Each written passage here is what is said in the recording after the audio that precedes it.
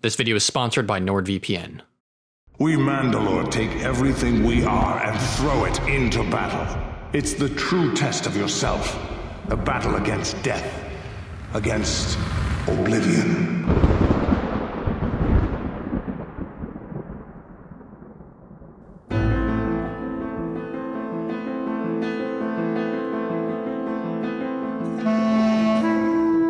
One helmeted bounty hunter that looked unbelievably cool has spawned an entire mythology within this bigger mythology. This is a good character. People like the bad guys. Well, and George Boba really Fett's borrowed cool. Boba Fett from from Man with No Name because if you think about it, it still has that sort of breakdown of Eastwood's Yes, straight brim, yes, hel- yes. uh, uh, brim like that, Just kind of old, older the eyes. and yeah. the poncho. Alive or dead, it's your choice.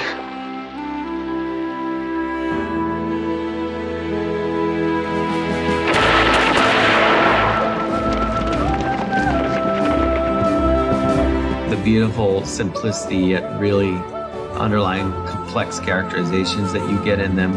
Definitely there's a Star Wars vibe to any of them. As long as I get paid. I always follow my job through.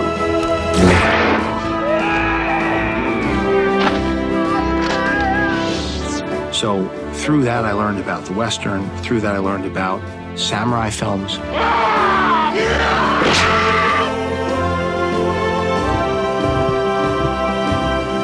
Want to be influenced so much by Star Wars, but I want to be influenced by the stuff that influenced George. All the great myths, the primitive myths, the great stories have to be regenerated if they're going to have any impact. Fantasy has no bounds. What you can do here with the new technologies is simply extraordinary. It's truly an adventure, a Star Wars adventure.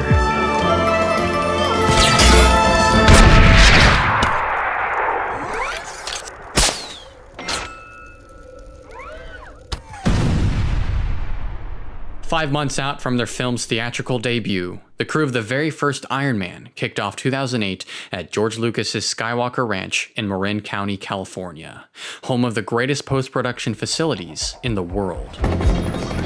In between reviews of the film's sound mixing, writer, director, producer, and actor Jon Favreau would tour the ranch in his spare time and rediscover every bit of the legendary sci fi franchise that gave the ranch its name and that he loved as a kid. A love that would inspire his career turn to filmmaking and his own take on Marvel Comics' Iron Man. In weeks' time, Favreau would soon also find himself right down the street at Big Rock Ranch, the headquarters of Lucas's new animation division, where supervising director Dave Filoni gave Favreau and his son a special glimpse at what would become George Lucas's final production.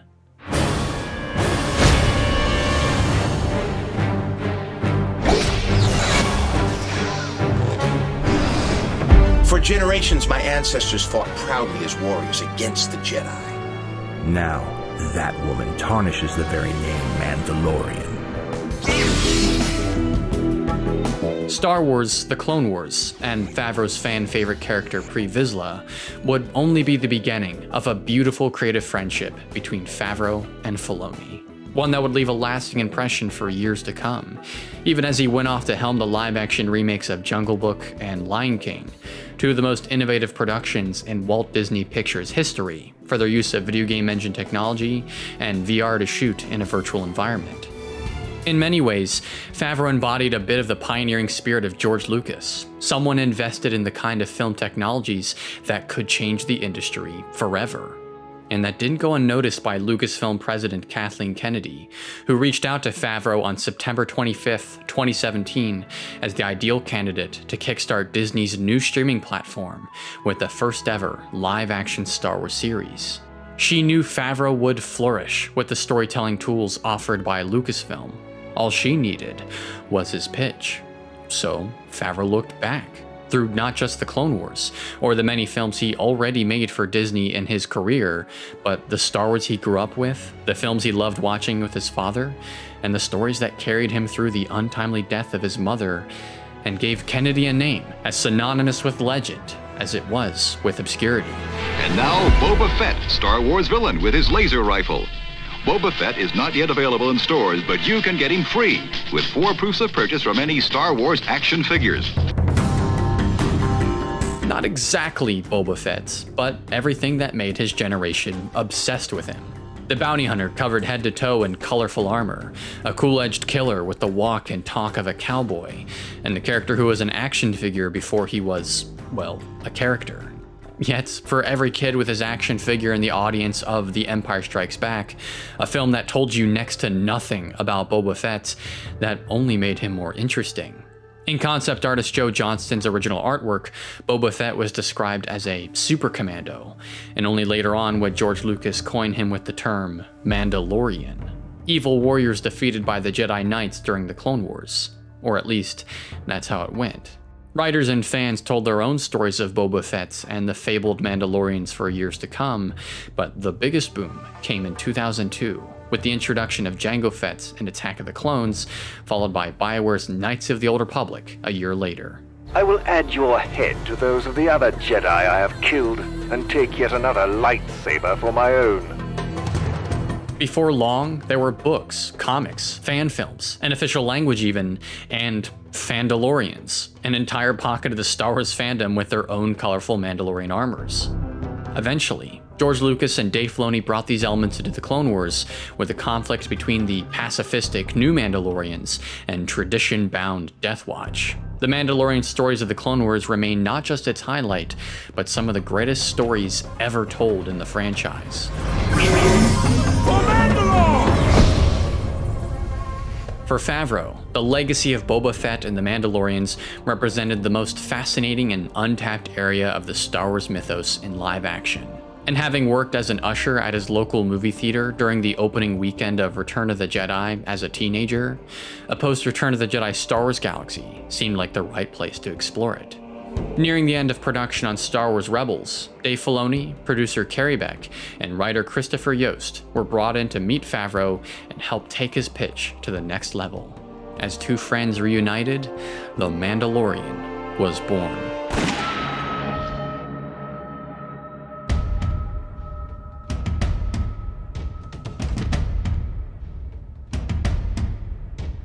More than Buck Rogers or Flash Gordon, there were two elements buried deep in the Star Wars DNA that Favreau wanted to pull into the foreground of The Mandalorian the samurai film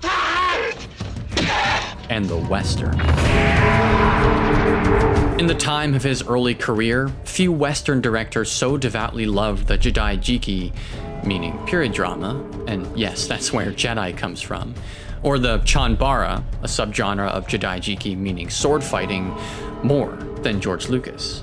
The works of legendary director Akira Kurosawa, like The Hidden Fortress or Yojimbo, dearly inspired his approach to narrative and framing on Star Wars, while Kurosawa's go-to collaborator Toshiro Mifune was a blueprint for the wise and powerful Ben Kenobi.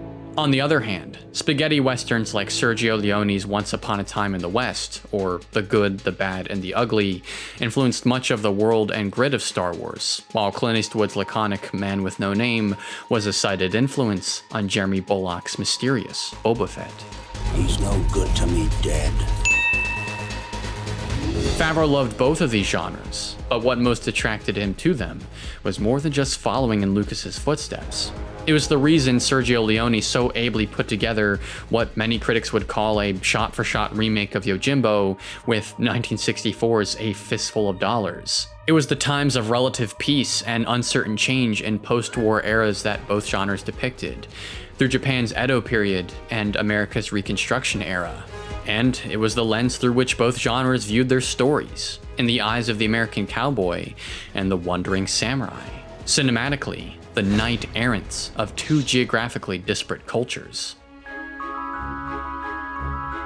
Where American literary fiction leading up to the 20th century romanticized the sweeping vistas, manifest destiny, and tough as nails outlaws signature to the Wild West, especially in the tall tales of Davy Crockett, Buffalo Bill Cody, and Doc Holliday, the Western genre itself wouldn't come to be defined until decades later, with films like John Ford's Stagecoach and Henry King's Jesse James.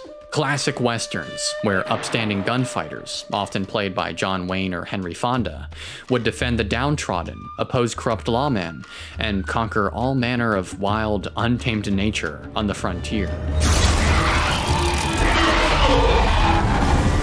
Inspired by the iconic outlaws of the Western, directors like Kurosawa and Hiroshi Inagaki led a Jidaigeki renaissance in Japan, where films like Seven Samurai, Chushingura, or The Tale of Zatoichi depicted samurai not in their prime amidst Japan's bloody age of civil war, but after the war and during the Tokugawa dynasty of wandering ronins, or masterless samurai. And then finally, in turn, samurai cinema inspired Italian directors like Leone and Sergio Corbucci to twist the moralistic outlook of both genres into the morally muddy backdrop of the spaghetti western. Playing into a greater subversion of the western genre in America, the revisionist western. Though what they depicted was rooted in reality, these genres, the Jidaigeki and the Western, would flourish into mythologies for Japan and for America cinematic folklore of mythic characters infused with the values of justice, cunning, and bravery, or respect, nobility, and self sacrifice. The same sort of values illustrated in Joseph Campbell's Monomyth and subsequently Star Wars, a contemporary storytelling canvas that has only grown more mythological in spirit with each new entry into its canon. For the Star Wars story he was about to tell, Favreau wanted to take all of these elements and meld them into a setting that wasn't just influenced by the Western or Jidaigeki mythology, but was a tapestry for them.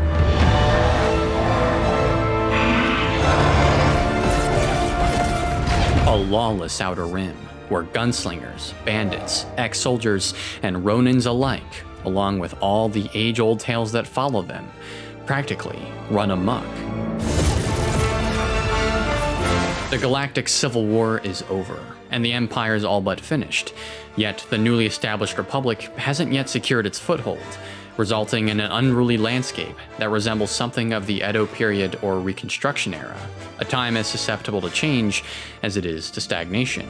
Director of photography Greig Fraser and cinematographer Baz Idoine capture this feeling throughout the show's first season with the open stage, the iconic Western landscape, what film critic Dave Kehr describes as a blank page to be written on, the promise of something new.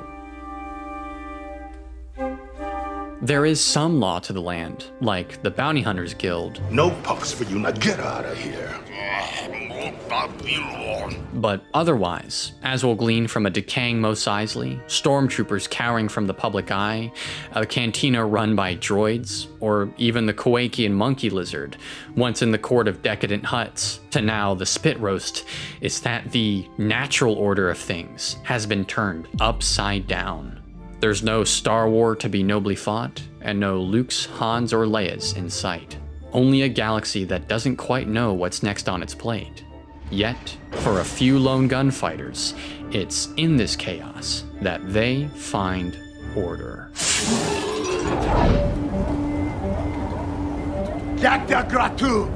The Mandalorian, like the Boba Fett before him, is a bounty hunter.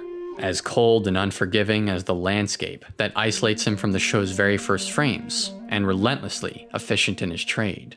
To quote Ben Kenobi, he may be more machine than man. Few things phase him, and far fewer can draw their gun faster. We have you four to one. I like those odds. From the T visor of his helmet, resembling the brim of a hat, to his economical use of dialogue, Mando immediately invokes the Eastwood gunslinger of stoicism and lawlessness. Especially when set against a galaxy of characters Favreau wrote to be particularly verbose. If you've never seen a fledgling Mythrol evacuate your thorax, you're a lucky guy, trust me.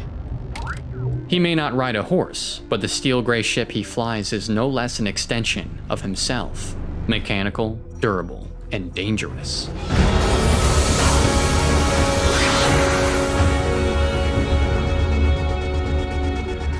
At the same time, the real man behind The Mandalorian, Pedro Pascal, was directed most explicitly to internalize Mifune Sanjuro from Yojimbo. Mando isn't just a gunslinger, but a warrior, pledged to a strict code of honor and tradition, much like the Samurai Bushido, to an underground clan of fellow Mandalorians, headed by the aptly named Armorer. This is the way. Mandalorians are rewarded in the glory of battle, reflected in their coveted Beskar armor, effectively the samurai armor of Star Wars, just as the Armorer's Forge evokes the ancient tradition of Japanese steel swordsmithing. There are many edicts to the life of a Mandalorian, but one rule stands above all. Never take off your helmet. To do so might be an even greater dishonor than the removal of a samurai's top knot. Altogether, Mando is Favreau's samurai gunslinger, a figure more mythic than human, utterly indiscernible from the symbols, code, and tradition he's sworn his everything to. Yet, something more lurks behind the silver dome of his helmet, a one way mirror to the mind of a mystery, more angular and oozing with menace than even the helmet of Boba Fett. A quiet suggestion that, perhaps, Mando needs this order for it may very well keep at bay ineffable chaos. A lone wolf, always at motion, always running from the mechanized demons of a deeply traumatic past. If he ever stops to face them, he'll be as helpless as the little boy he was then. But if he finds order, a system that ensures his demons, or anyone for that matter, will never catch up to him, he can be ruthless. He can be a hunter.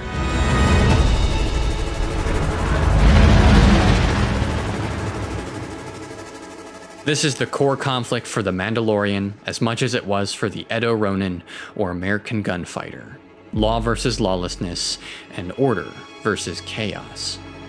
Like all the stock genre figures that surround him, from the bartender to the rancher or the banditos, Mando is content living his life exactly as it is, never breaking from the myth and never deviating from a perfectly endless loop. Favreau, on the other hand, is not interested in that. What Favreau wants from The Mandalorian is not necessarily a cunning anti hero or a devout warrior. He wants something more than that.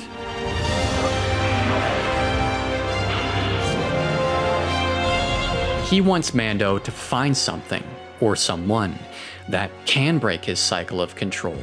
It won't be Nick Nolte's Kuiil, though he's but the first and wisest of many faces who will guide Mando forward. Instead, it's the one thing that he can't repel against, what he can't point a gun to. True to the violent, lonely path that's long molded him, what Mando will find is actually the very thing he's been running from all this time.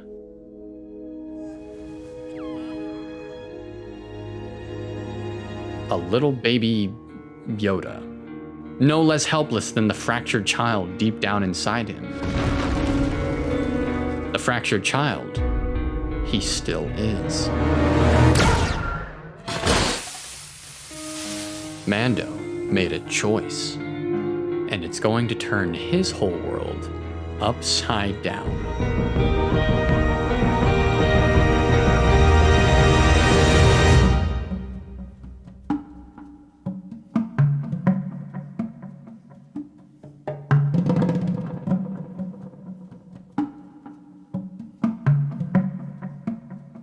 With the little green raisin now joined at his hip, our protagonist is no more the Mandalorian with no name than he is the lone wolf and cub. Very much of the wildly popular manga, film, and TV franchise of Japan in the 1970s and 80s where the fearsome Ronin and assassin for hire Ogami Itto wandered Edo, Japan with his infant son Daigoro in a baby stroller.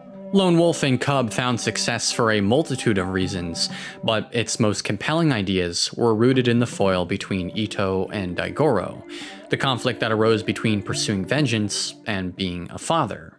In The Mandalorian, the foil of the child complicates everything for Mando pretty much immediately. He's harassed by hunters, his ship is stripped apart by Jawas, and despite their puny disposition, they practically hand his ass to him. Mando was reluctant to tame the Blurrg, but he's even more reluctant to ask for Kuiil's help, to subside his lone wolf nature.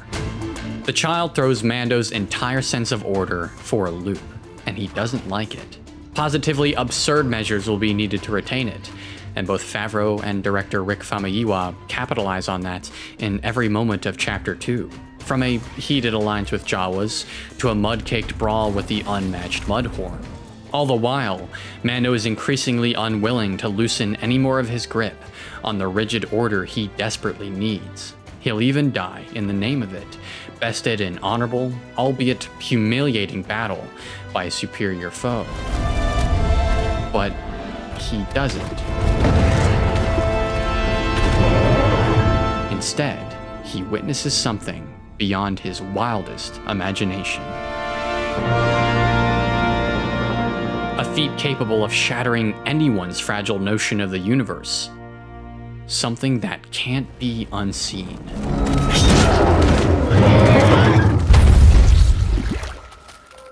If there was a word to describe it, whatever it was, it might only be fate.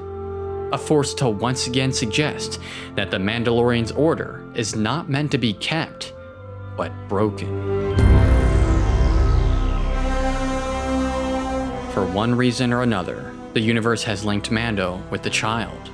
He can cling to the familiar validation of his warrior ways as much as he wants. He can even use its spoils to reclaim his lost order. A suit of armor strong enough to hide the gaping emotional insecurities his previous suit apparently could not. But by the same token he acquired this armor because of Baby Yoda, fate might ordain it to serve another purpose, contrary to his hunter ways, yet entirely befitting of them. To shield that little green raisin from everything he could not shield from his younger self. He made a choice in sparing the child, but now a different kind of choice lies before him. A choice thrust upon one generation's hero to the next. Moreover, for the galaxy trotting journey that, unbeknownst to Mando, surely lies ahead, the beginning of an odyssey. Like Odysseus himself and the Greek poet Homer's epic poems, Mando will trek where few souls, and even fewer Mandalorians, have gone before. Through unforgiving badlands, tangled swamps, and frozen wastes, deadly trials of cunning and bravery, and the crossroads of legends to myth themselves. It won't lead home, for Mando yet knows no such a place, but it does lead somewhere, and it will take a long, long time to get there, testing his bond with his newfound creature every step of the way. How can one be a coward if one chooses this way of life? This is a Gunslinger's Odyssey.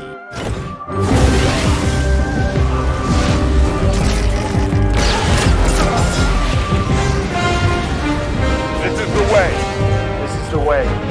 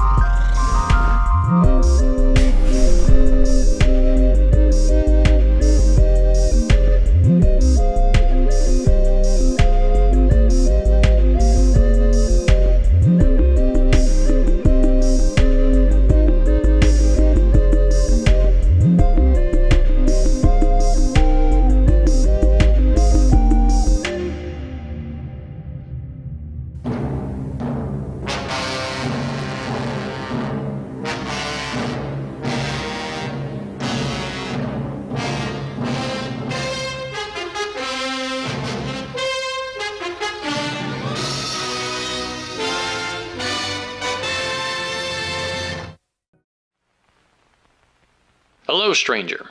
Can I help you? I've been quested to watch a list of movies and shows that are only available on streaming services in other countries. If I can somehow connect to those countries while maintaining a safe and reliable internet connection, I can clear my watch list for good.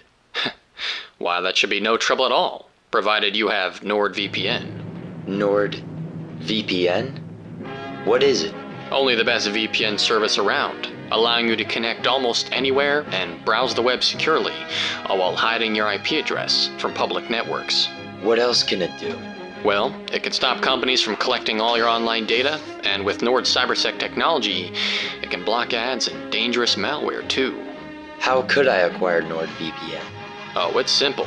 Go to nordvpn.com forward slash artorr, and just for you, stranger, enter the code ARTORR at checkout, and you'll have a huge discount on a two year plan. The link to this limited time offer is in the description below. Thank you. I should probably keep moving. My pleasure. Safe travels, my friend.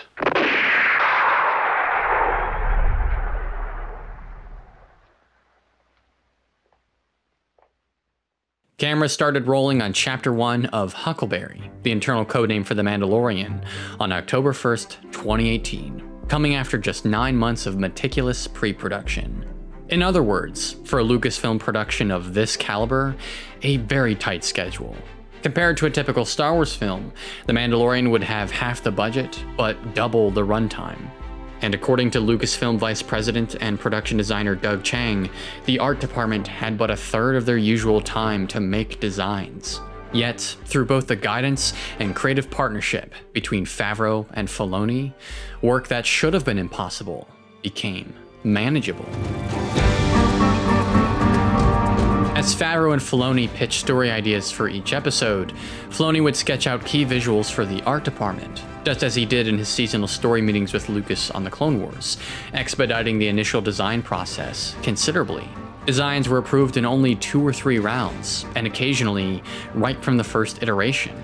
Favreau knew exactly what he wanted from every aspect of the show, yet relied on every artist's work to inspire the final touches of each script a collaboration akin to Lucas's directing style of the Star Wars saga. However, in front of the camera, the same free-flowing style of collaboration would be a lot more difficult. Even with a formidable budget of 15 million per episode, Favreau and Filoni dealt with the constraints of the TV medium. Sets would need to be cost efficiently built, reused, and repurposed wherever possible, as would costumes and props from former Star Wars productions, like Rogue One, be reused and modified for the show. Even then, a staggering amount of either VFX work or location shooting would be unavoidable, and both could be costly. Favreau didn't just need one of the best crews in the TV industry, he needed technology that didn't exist yet. Technology that not only Favreau had worked to pioneer on the digital playgrounds of Jungle Book and Lion King, but DP Greig Fraser on the set of Rogue One. That's what led Favreau, Fraser, and visual effects supervisor Richard Bluff, after many months of experimenting, to invent one of the most revolutionary film technologies over the last two decades the ILM Stagecraft, or as the crew called it, the Volume. We have put together a system whereby which we can have game engine real-time render and video wall technology coming together to create a backdrop for the big, beautiful world of Star Wars. It feels like a real three-dimensional environment surrounding you because it is a three-dimensional environment. Because of the volume, the VFX pipeline that's been traditionally used in the film industry over the last several decades was now flipped. Most visual effects are instead created in pre-production rather than post, and implemented in Epic Games' Unreal Engine. And yes, it's that Epic Games. There's still some VFX work to be done in post-production, but what's there and camera at the start could be adjusted on the fly, allowed actors to give better performances with their surroundings, and didn't require the endless compositing of green or blue reflections from a highly reflective main character. A luxury C-3PO did not benefit from in the prequels. Well, it couldn't possibly be as bad as all that. In some ways, the volume serves as a fitting full circle evolution to the early days of the Western. Where the matte background once provided illusory Western scenery, the volume projects a photorealistic environment. It's just one of the many ways The Mandalorian, and pretty much everyone involved in it, was trying to push the TV medium forward. just like the show's approach to previs, or pre-visualization, a commonplace practice for high-budget action movies, but once again, not in the way Favreau wanted to use it.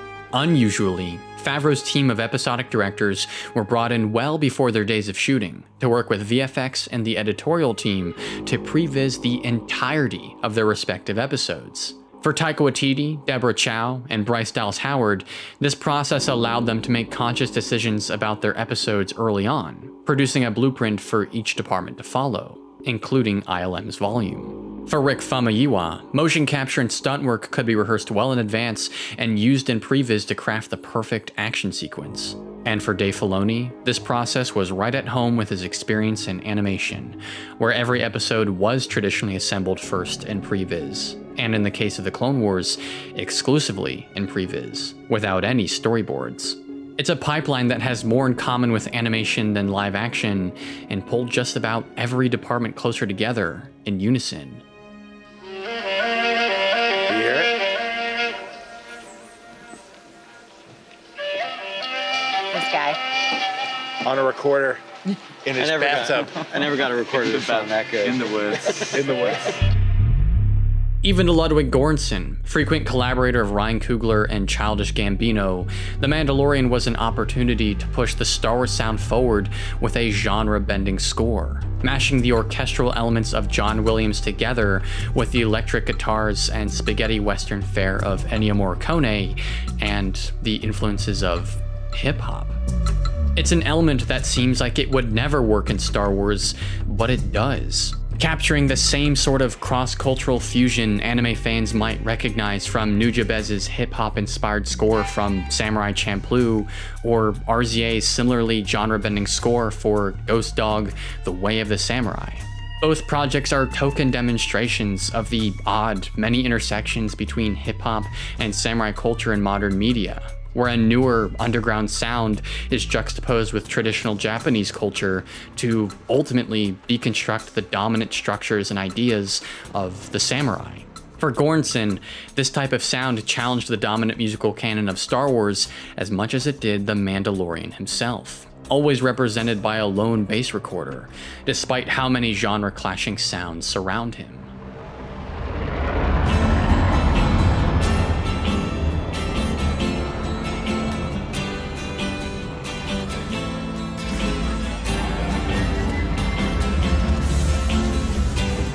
Göransson's music is one of the many ways the audience is permitted to infer the emotions of an emotionally complicated protagonist, alongside the careful physical performance of Pedro Pascal and his two doubles, grandson of Western icon John Wayne, Brendan Wayne, and martial artist Latif Crowder, where even their smallest gestures mean something of a character imbued with stillness or Fraser and Idoine's deliberate camera composition and movement with the editorial team's attention to shot length and age-old techniques like the Kuleshov effect, yes, that one from your freshman film class, to attribute emotion to a faceless character.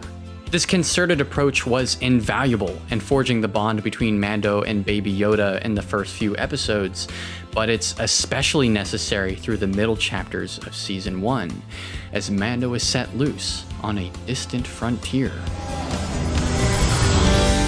Wish I knew what you were looking for. Might have known what you would find. From Kurosawa's Seven Samurai, or John Sturges' American remake The Magnificent Seven, if you will, in Sanctuary. Then, to Filoni's ode to the young and old gunslinger team up of the Western, particularly Sam Peckinpah's TV series The Westerner with The Gunslinger. And then to an utterly Star Wars take on the tried and true ragtag heist plot with The Prisoner. In another sense, Mando is lost in the Star Wars mythology itself, crossing paths with all the delightfully rubber masked figures and obscure characters often relegated to the background. The Rebel Trooper, the Imperial Sniper, the Devaronian, or the Shuttle Bay Mechanic, in addition to the Ugnaught, IG Droid, and Battle for Endor Blurrg he already met. And it's something quite peculiar. something that's shimmering and. All the while, we are never lost with Mando himself. Despite the show's predilection for an episodic approach, more akin to shows like The Westerner or Wanted, Dead or Alive than the prestige drama series of the streaming age, there is always an emphasis on Mando. He knows his life has been changed and some of his order relinquished, but that won't stop him from carrying on as if it hasn't, from clinging to the ordinary world he's afraid to leave.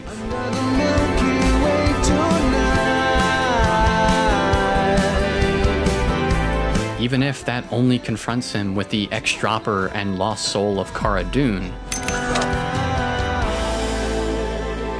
and a local community of krill farmers who've lost their peace to Klatooinian raiders. Mando, and in part Dune, are trying to stay in one kind of place, in an environment they can control.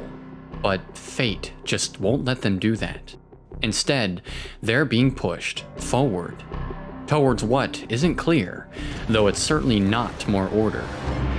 And so, they must put aside their lone wolf ways and give a community the tools to fight back.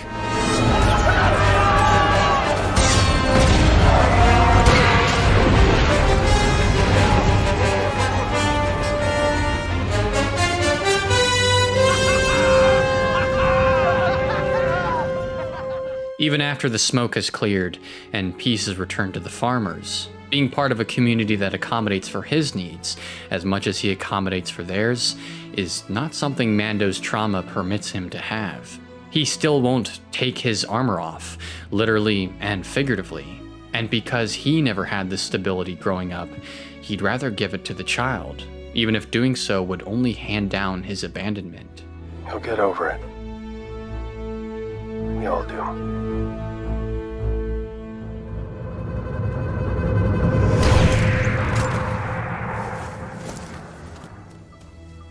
No matter his decision, Mando and the child must remain on the move, heading where he and the Ronin gunfighters he embodies have always been welcome to go.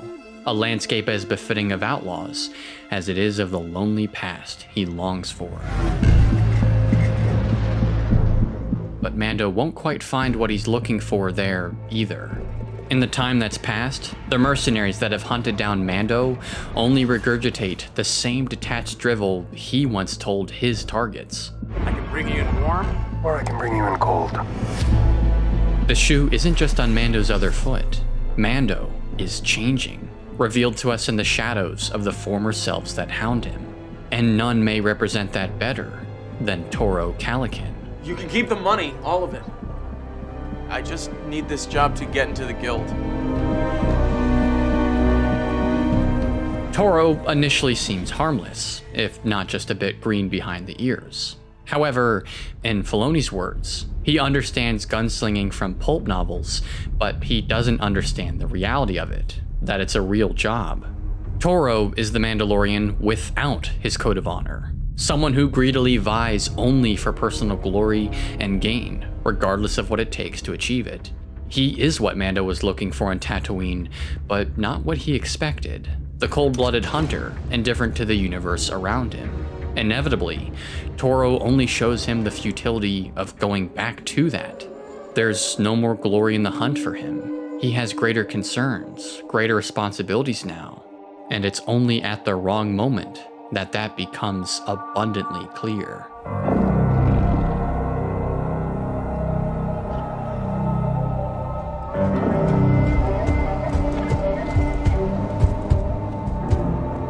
You'd be foolish to challenge any Mandalorian, but Mando most of all. Not because he's the deadlier killer, but because he's much more than that. In Hangar 3-5, Mando decides, for the first time, that the child isn't to be given away and certainly not to be sold. That child is his.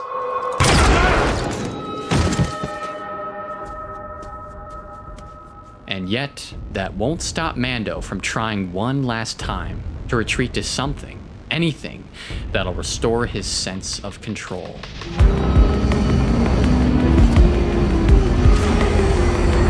But Mando's most desperate stop is a blurry one, introduced in congested close ups, showing us how unfamiliar Mando's grown with the crime world he once knew.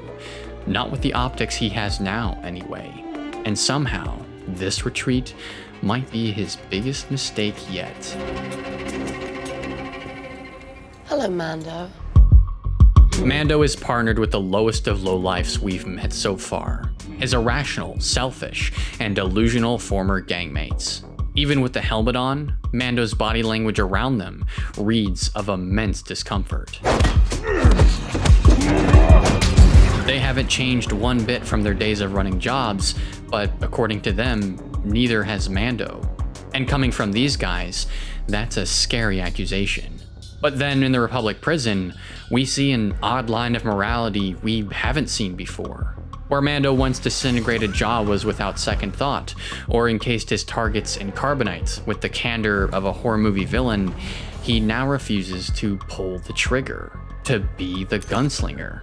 Mando may not realize it, but he's developing a conscience, a capacity for empathy he's never had before. And to no one's surprise but his own, it cost him even more betrayal. Though the underworld's no place for a conscience, it's also beneath a man of Mando's resilience, because it'll take far more than a jail cell to keep him from his child.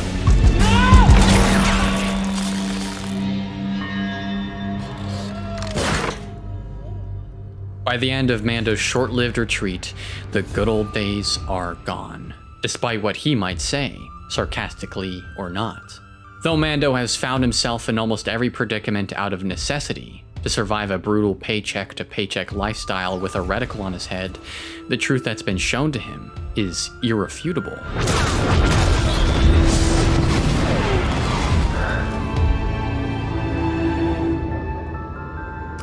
He's just not the same tough guy he used to be. I told you that was a bad idea. He's out of place wherever he goes, and at odds with just about everyone he might have once called an ally.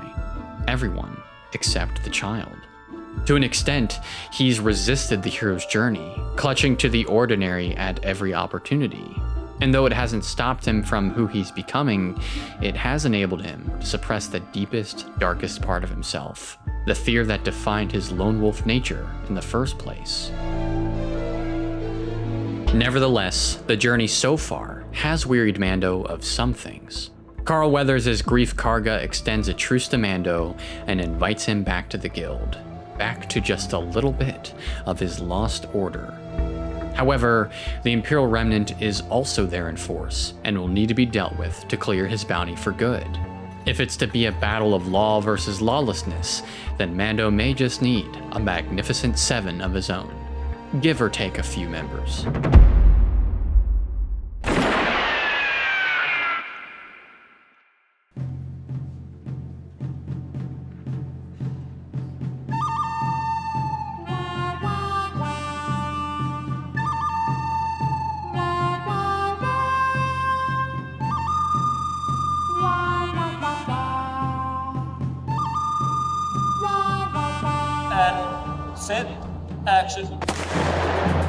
Production on The Mandalorian's first season lasted about four months, from October to February 2019. Most episodes were shot concurrently, including Filoni, Chow, and Waititi's episode set on Nevarro, while the last episode to be shot was actually The Gunslinger. All throughout the overlapping schedule, each director covered second unit on another director's episode. Effectively, The Mandalorian is the product of a shared vision between several directors, disguised as a purely episodic experience. This directorial band of mercs, as Favreau described them, was the basis for Mando's own band of mercs in The Reckoning. The tough as nails, heavy hitting Cara Dune, and gentle, nurturing Kuiil might seem worlds apart in every conceivable way for Mando, Heck, they even fought for opposing sides of the war, but they've all, Mando included, walked the same rugged path in isolation, adrift and without cause. They've enjoyed their time out on the frontier, but Mando will extend to them a bit of what he found on his own. Something worth fighting for. They just need to take the difficult and treacherous step of counting on each other as much as they've counted on themselves.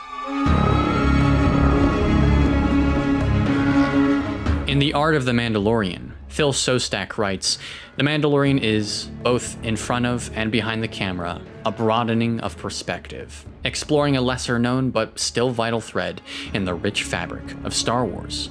For the crew behind the camera, the revolutionary workflow of the volume certainly broadened their perspective, but it's these two chapters on Nevarro that allow that sentiment to fully bear fruit before the camera.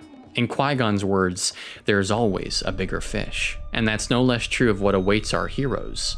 The hapless stormtroopers wallowing in Nevarro's storehouses suggested early on that the Imperial remnant couldn't be weaker, but the startlingly formidable and very well armed garrison reinforced to the town proves entirely otherwise. The tide of the law is stronger than any part of the galaxy has led on, raised in opposition to an equal tide of chaos. Conversely, we've never traversed Nevarro from its interminable lava flats, an open stage hidden from sight. It is the backdrop of an arduous journey and a wild frontier, but remember also, it's the promise of something new.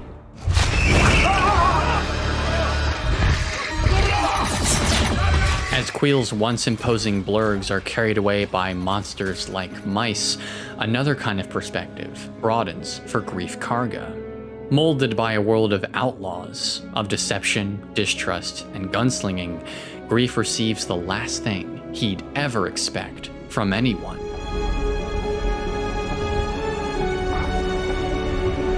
Compassion.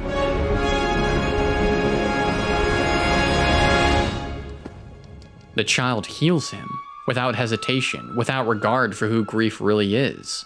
And just as that's left an unmissable impact on Mando, it'll convict Greef in a similarly lasting way.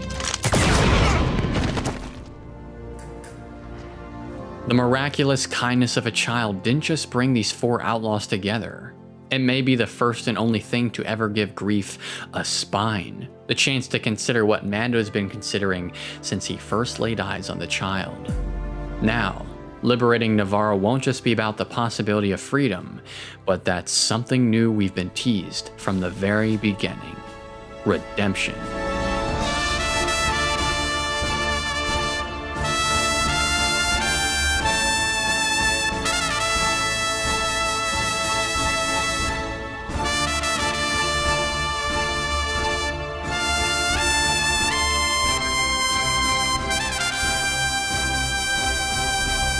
However triumphant these gunfighters hope to be, Favreau and Chow won't let them go before the offer of a vile devil's advocate, a bigger fish than the client.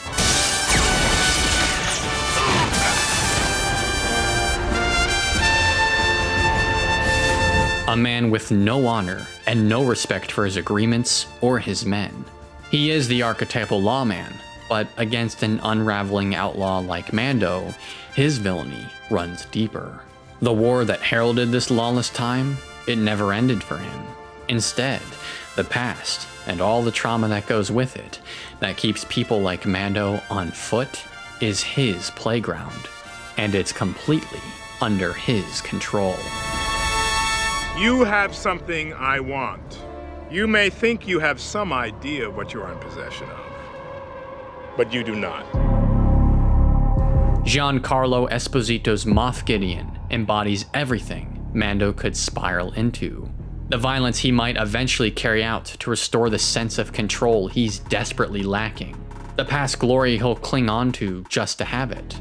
And the honor he'll willfully disavow to pursue such ignoble goals. In the pantheon of Star Wars villains, he shares the same refusal to let go as figures like Vader or Maul. And to Mando, he cuts to the core of his mysterious facade.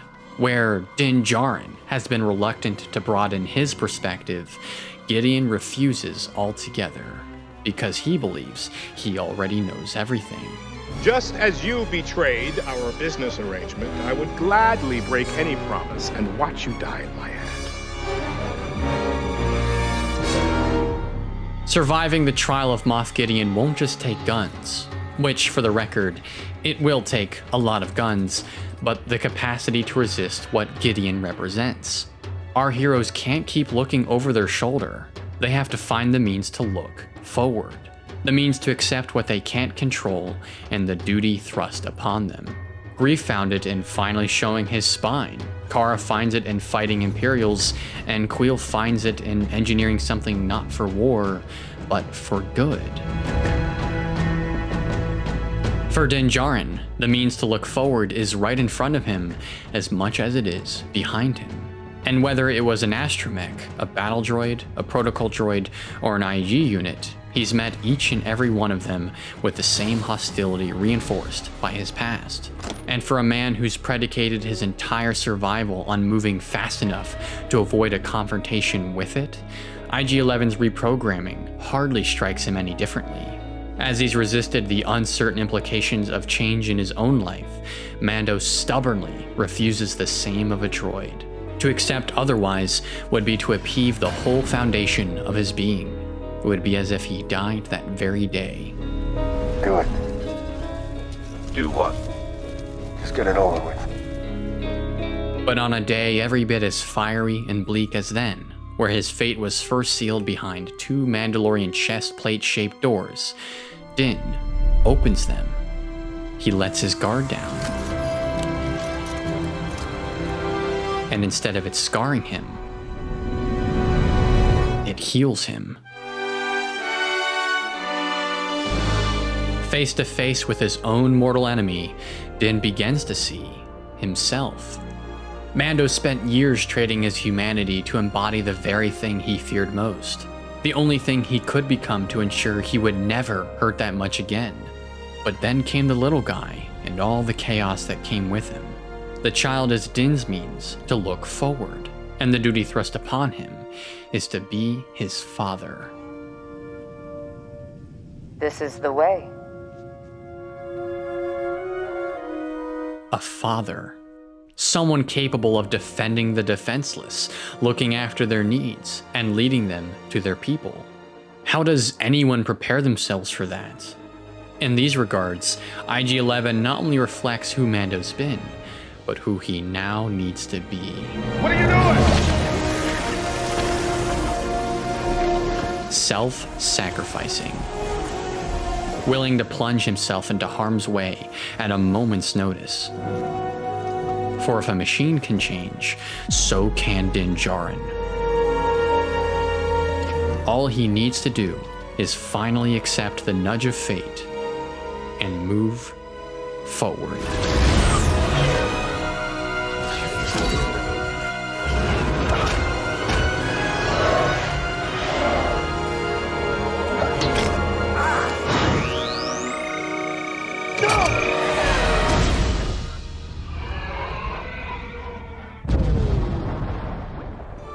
Our heroes survived Gideon's trial because they adapted. The age of lawlessness won't be forever, and times are bound to change. But that doesn't mean the Empire has to come with that change.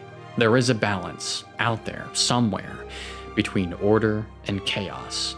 Greef and Cara might find theirs on Nevarro, but Mando will need to venture so much farther to find his. As Din pays his respects to the cowboy that first showed him the way, a new chapter begins in what has become a never ending journey. No matter how weary he is with the trail behind him, the Mandalorian looks to the horizon, wider than ever before, and keeps going.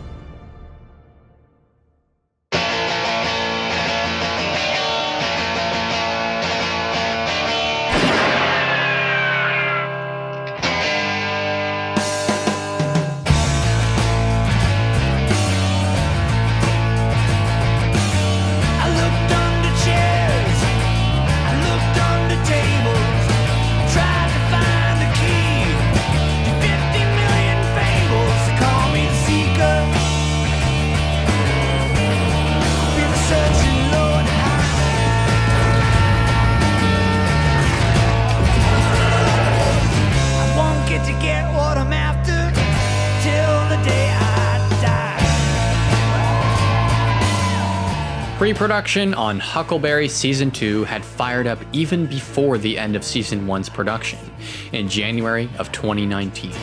With a much better grasp of the volume, Favreau and Filoni based much more of their story around pushing its limits, physically, technically, and narratively.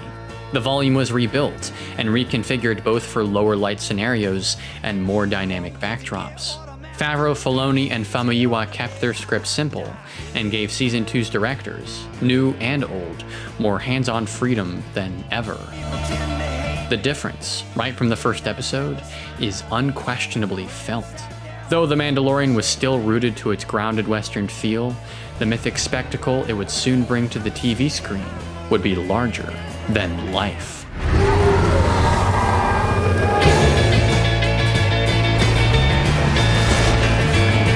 Favreau's first round in the Mandalorian director chair would be to tell its tallest tale yet. After crossing paths and throwing hands with the Star Wars Cyclops, Mando ventures beyond the Tatooine we know to the forgotten town of Mos Pelgo, straight out of High Plains Drifter. Partnered with Timothy Olyphant's Cobb Vanth, the Marshal, derived from the marshals of Western filmography, like Henry Fonda's Simon Fry, these two knights in somewhat shining armor unite the indigenous Tuskens and people of Mos Pelgo to slay a fearsome dragon. While Vanth himself is an intersection between many Star Wars legends, Fett's armor, Anakin's pod racer, and Chuck Wendig's Aftermath novel, the Krayt Dragon is practically a legend to the Star Wars canon itself.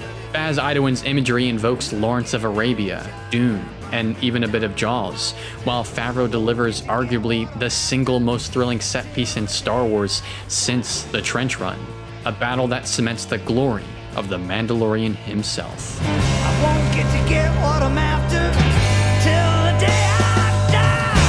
As Mando rides off into the sunset, the definitive visual of the Western, Chapter 9 certifies the rich and mystical backdrop of The Mandalorian, where Western, Eastern, and Star Wars myth come to life and endure forever. Except it doesn't.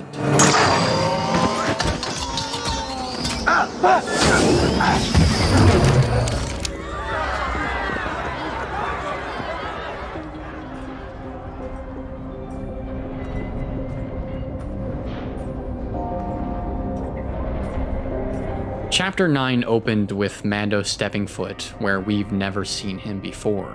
A darker, dangerous, civilized world. The antithesis to the open stage, wherein the law has already run its course. Later on, Mando will find himself not in outlaw havens, but places like Trask, Corvus, and under Greef's renovation, Nevarro. Well oiled communities that have moved on, or tried to move on with the times. And though the New Republic's foothold is still but a shadow of their former government, even they will exert oversight where there was once chaos. The Empire's prior feud over Nevarro was an omen, and the opening scene of Chapter 9 only solidifies it. The Wild West is ending. The storybook landscape, where the embellished myths of gunslingers and samurai like could roam, is beginning to close, and the myth itself is dwindling. And part of why it's dwindling is tied to why it was initially thriving. The parallel between a post war Star Wars galaxy and both Reconstruction America and Edo, Japan. Entering the 1960s and 70s, the American culture that once embraced the cowboy, the idealized self image of America's free thinking, gun toting justice, was starting to grow out of the Western. As the US became further and further embroiled in a morally muddy Cold War, one that would come to redefine how many Americans saw their government and themselves, the image of the cowboy changed. They were no longer the Ringo Kid or Wyatt Earp, but Butch Cassidy and the Sundance Kid. They were the Wild Bunch. They were the stranger. They were all a dying breed, living on the very edge of America's progressive era either unwanted by society or trapped in one that couldn't be saved. Technology, modernization, and lawful reform stamped them out as much as it stamped out the wild frontier. As such, most westerns set during this period end in tragedy.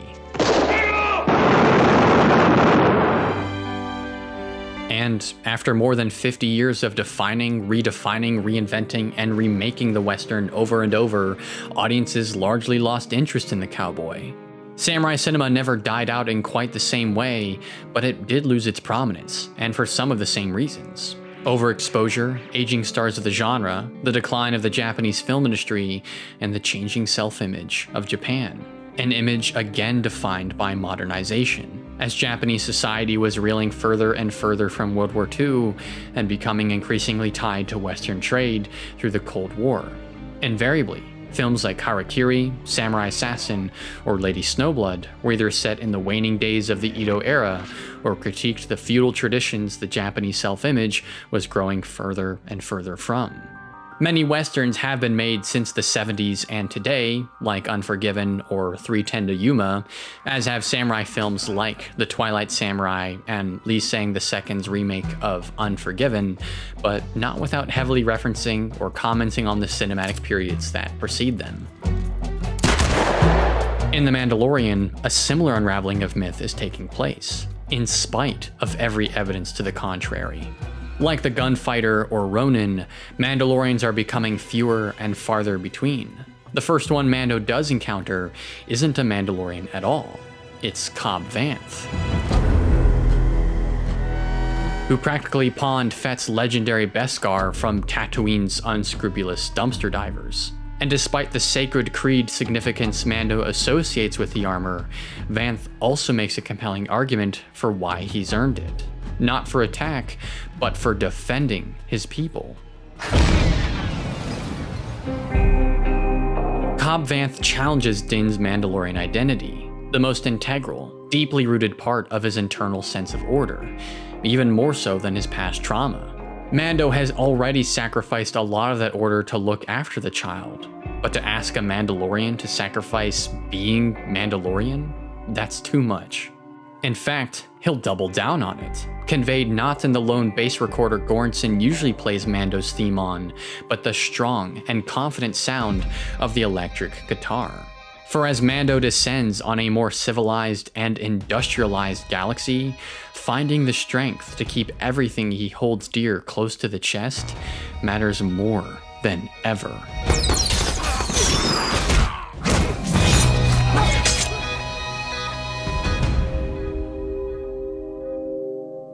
But again, Mando is but one man in a clan of two. And he's bound for worse than getting globbed off a speeder by bandits. The only way to ensure his survival is to keep following the ever elusive force of fate. To take risks and surrender boundaries he never has before. And even then, survival is not assured.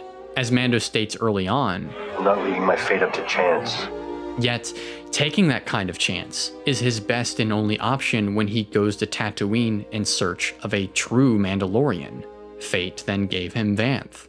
And after hitchhiking it back to Mos Eisley, taking a chance is quite literally his only option once again.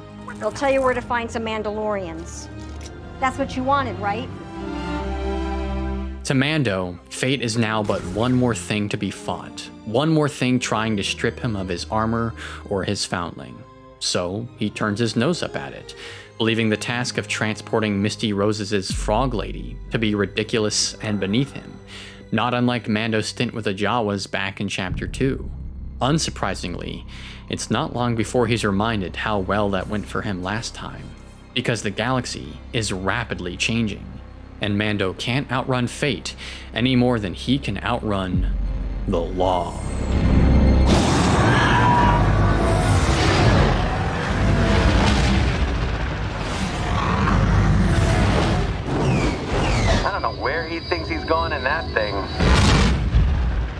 Just as Mando's Razor Crest is an extension of himself, the means by which this ancient hunk of steel can outrun the order clamping down on it is pushed to the limit.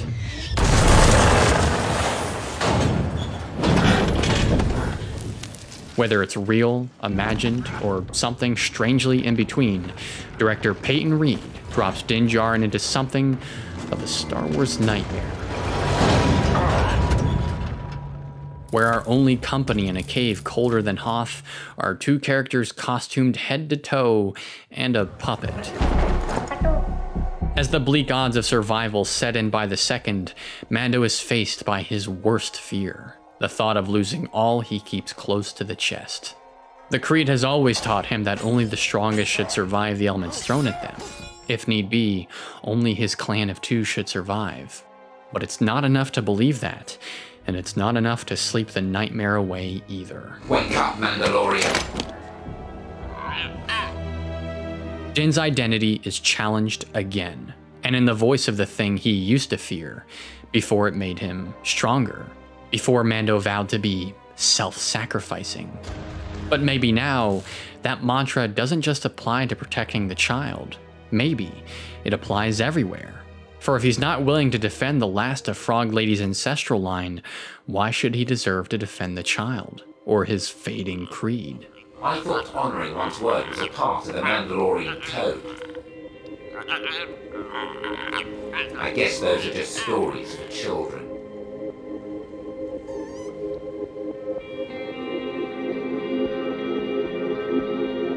Mando can remain beneath the ice, be as cold and isolating as the wayward killer he once was, and die in shame with his mythic creed.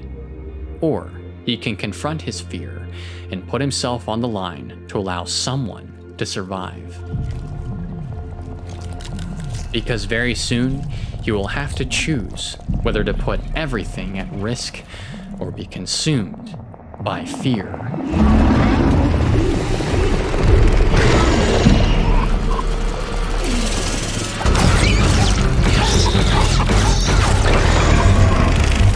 Crushes Mando as far into the corner as he'll go, by way of the most spider crammed fever dream ever envisioned for Star Wars.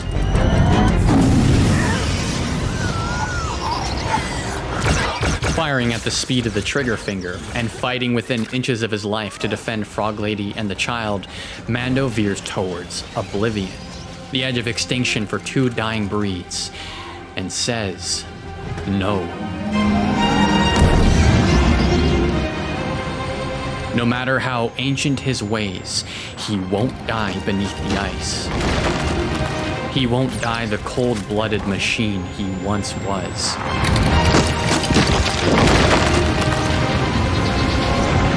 He won't be the last Mandalorian.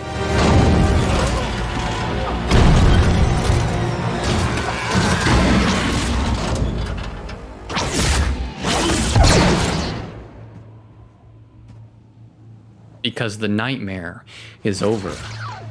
For facing his fears, fate seemingly rewards Mando with Republic salvation. His good deeds earned him mercy, almost as if to tell him he's on the right path. The old Razor Crest is reliable enough to make it to space, but like Mando, its days have never been more numbered.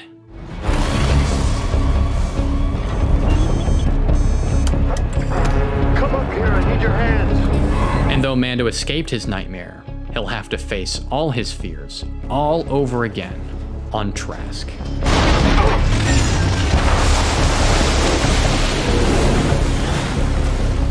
By now, Mando is wearing at the seams. The crest has been pummeled about as much as any ship can be. Mando's armor does little to protect him, and the only warriors who are capable of rescuing him, the Mandalorians he's been dying to find, will be the last people he'd ever call Mandalorian. I was hoping that.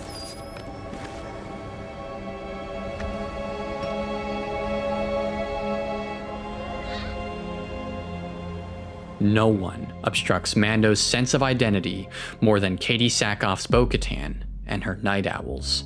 Lifelong Mandalorians, who, to the myths of the Clone Wars and Rebels, might just be more Mandalorian than Din himself. Where Din once felt empowered to be part of a proud, spanning creed, he's now a wayward zealot, abducted by a cult and effectively sheltered to the outside world from behind a suit of armor. Mando might push back, try to unhear what he's heard, but he won't succeed. Again, fate gave him what he asked for, but not what he wanted. Next to them, he's effectively a polished relic, a stranger.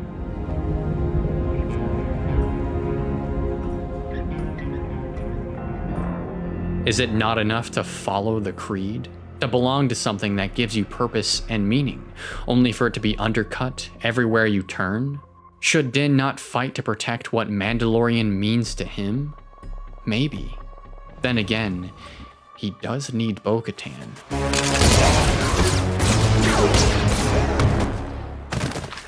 Mando's quest could end here. He could pretend the Night Owls aren't Mandalorian and maintain the increasingly fragile order that his creed brings him. Or he could open his mind.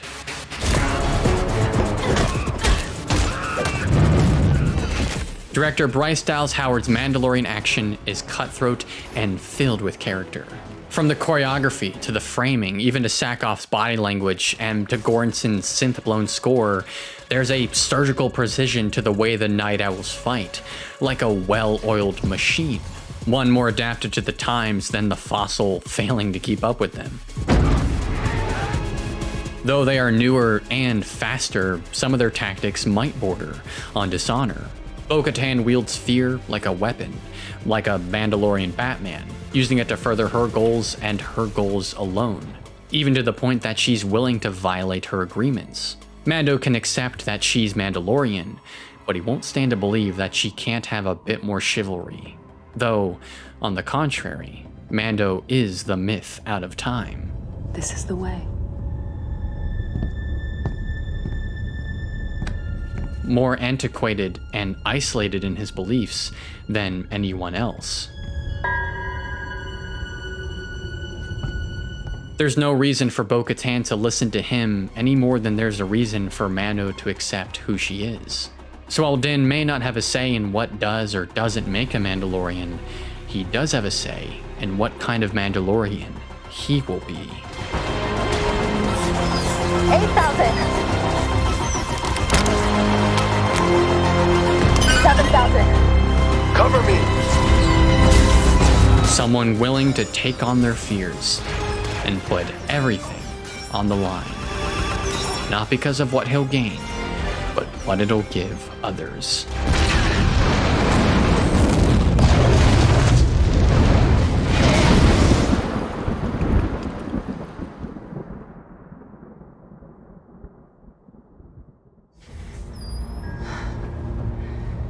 Take the Foundling to the city of Calodan on the forest planet of Corvus. There you will find Ahsoka Tano.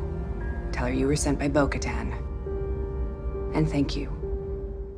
She packed my bags last night, pre-flight. This is the way. Zero hour, 9 a.m.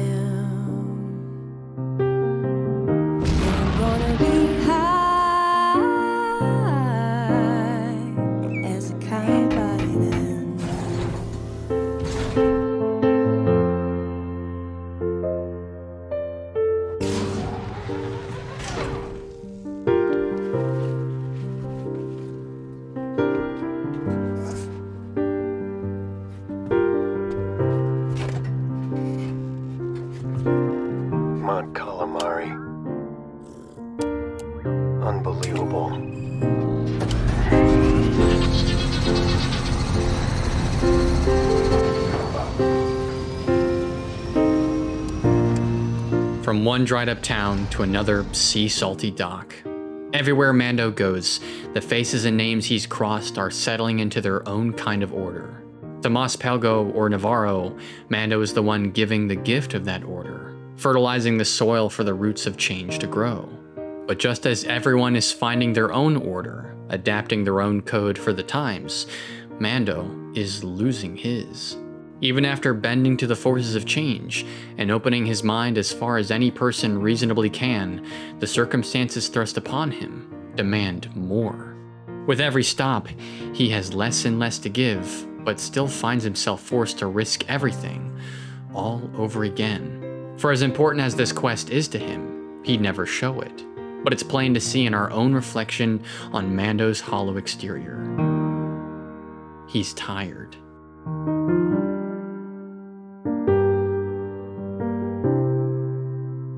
The mythical Wild West really is ending, and with it, all the myths it once held true. Mando is but a gunslinger whose time has tragically run short. His only options now are to die with the myth his creed, code, and armor embody, or find some way to move forward again. Incidentally, fate has armed him with almost everything he needs to refind the way. Everything except the two people who can put all the pieces together. If there's anybody in the whole galaxy who knows the power of perseverance, it's gotta be Ahsoka Tano.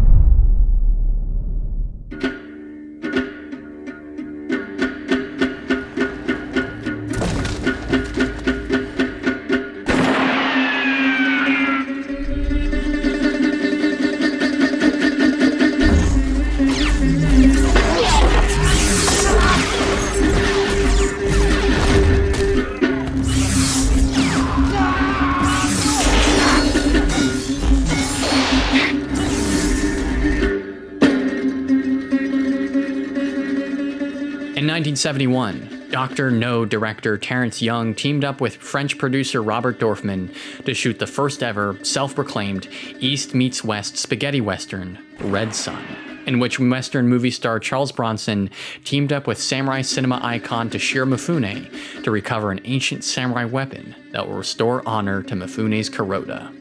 Red Sun was one of the last big blockbusters in the golden age of westerns, and a long overdue intercultural and cinematic celebration of two mythological heroes that have always been more alike than different. 50 years later, Star Wars had a Red Sun of its own in Chapter 13 The Jedi, where two sworn enemies, the Jedi Sorceress and Mandalorian Super Commando, come toe to toe on the wooded foothills of Corvus.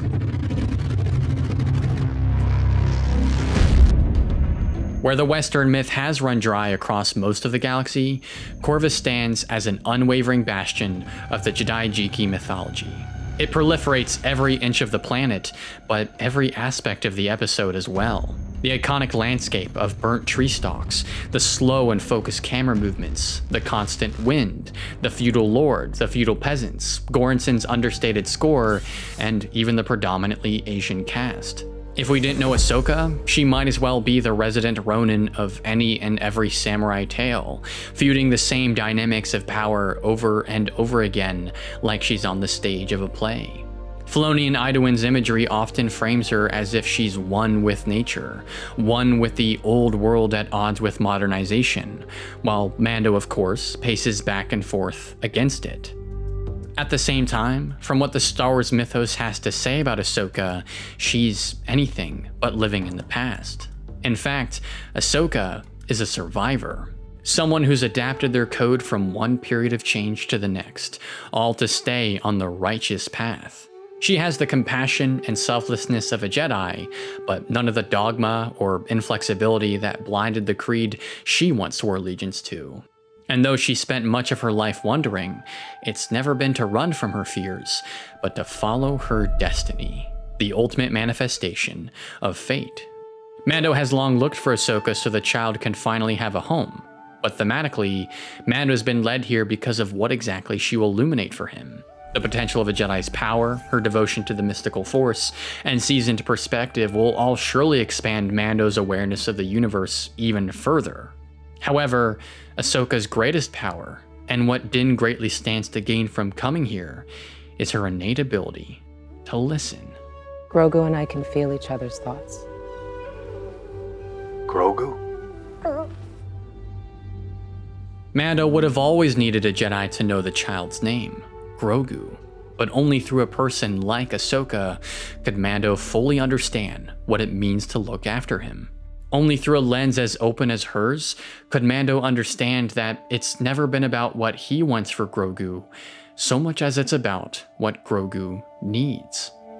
For the one reason or another that they found each other, the two have formed a lasting bond, heartfully evoked in the imagery of a dad and his kid playing catch. Good job. Good job, kid. It's a beautiful thing, and it fills Mando with fatherly pride, but there is a duality to it. Should either of the two ever be faced with the fear of losing each other, that bond could become possessive. Like Anakin Skywalker, who tried to control his attachments, those who brought order to Anakin's tumultuous life for fear of losing them. And of all things Ahsoka knows, she might know that most of all. Beyond the Force and the dynamics of connection with others it embellishes, this duality can apply to any kind of connection. To material objects, to rigid beliefs, or even to an outdated creed. It's a foreign philosophy to Mando's salt of the earth ways, but it gives pause nonetheless. To not only be honorable and self sacrificing, but to be, at all times, compassionate and open minded the greatest lesson Mando has learned so far. So while Ahsoka may be reluctant to train Grogu, she is willing to cut him a deal.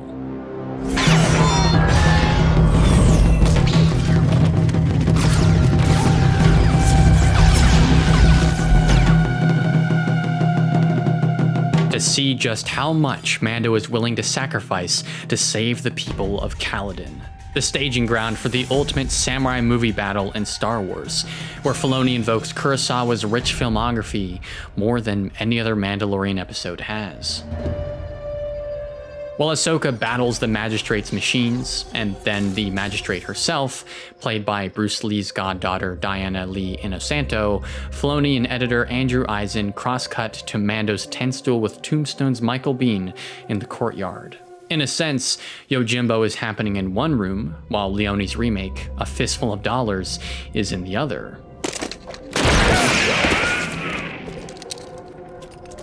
It's brilliant, and infuses the Western and Jidaigeki mythologies into one story.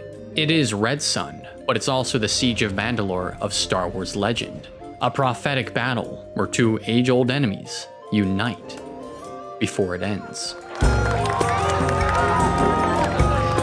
Mandalorian's intervention has restored order to one more place, while Mando himself has yet again only lost more of his.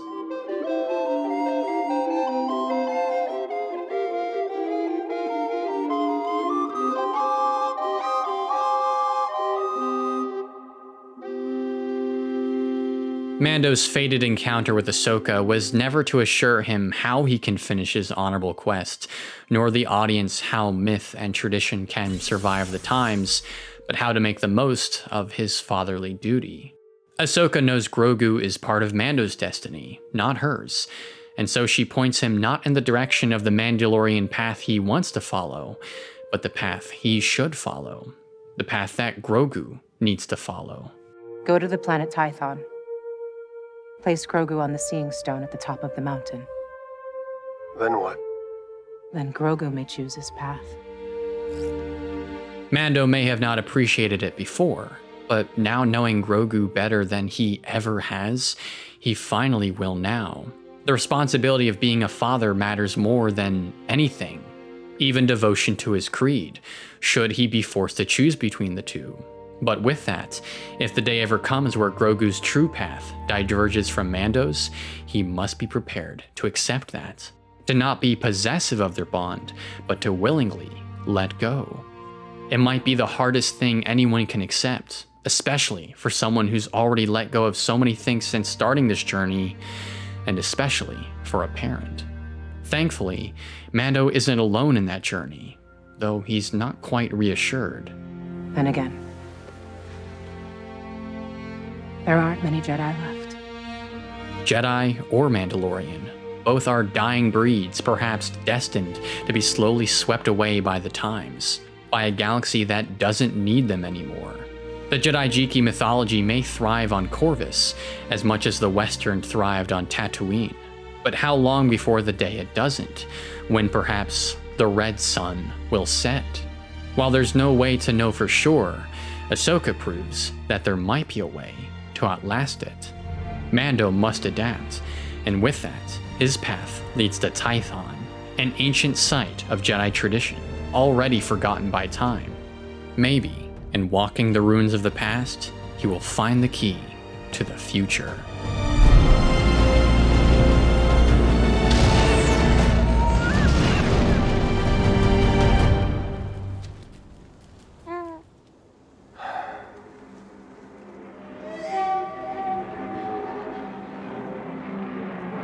Fatefully, while Grogu will decide his future on the Jedi Seeing Stone, director Robert Rodriguez will force Din Djarin to decide his in the scarred face of Temuera Morrison's Boba Fett.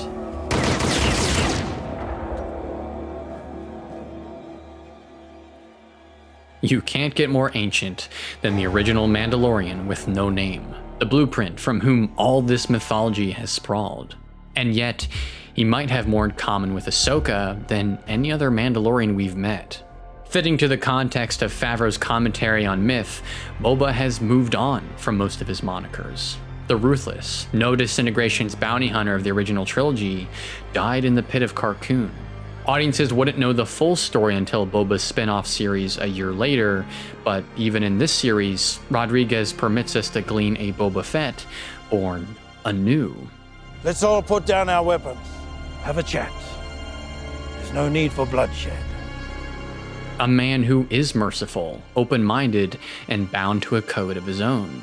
Alongside Cobb Vanth and Bo Katan, he tempers Din's notions of what a Mandalorian can be as far as they can go. For Boba has already endured the Odyssey Mando's on, already chewed out by fate, and already pushed to adapt beyond his limits. Din may scoff at his demands, but as he'll soon discover, Boba is no fading mercenary. He is the son of Jango Fett, in all but name, a Mandalorian. If Mando is a gunslinger, Boba needs to be a barbarian.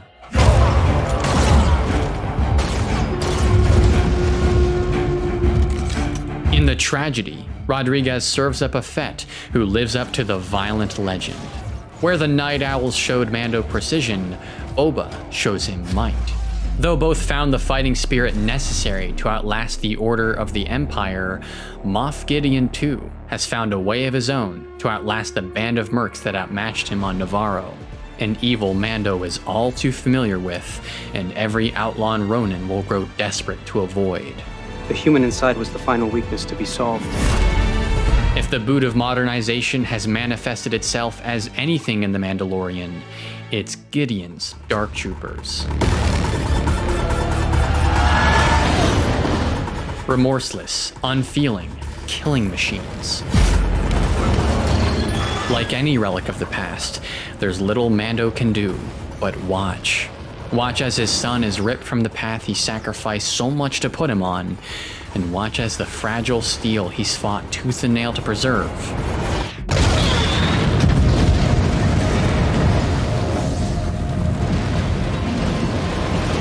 is obliterated.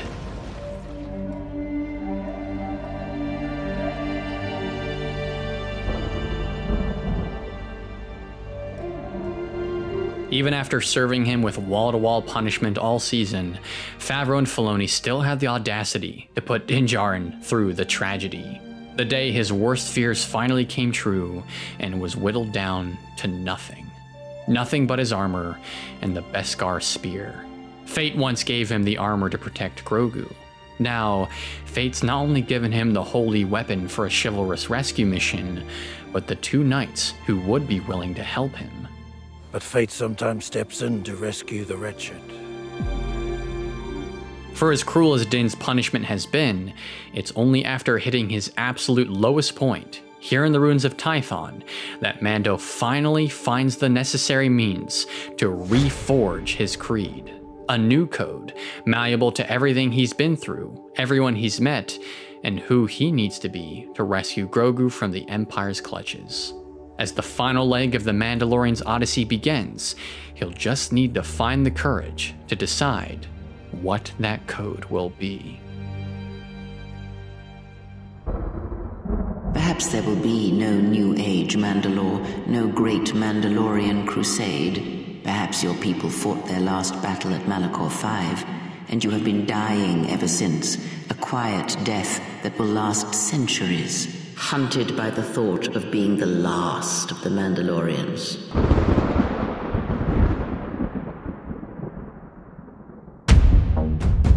With nothing to offer but a debt of gratitude, Mando assembles a fellowship comprised of allies and individuals motivated by selflessness and honor. With their help, Din will chart a path directly to the heart of Moff Gideon's Star Cruiser and take back Grogu. But before he can do that, he'll need the Imperial expertise of someone truly unorthodox. You know, for a second, I thought you were this other guy.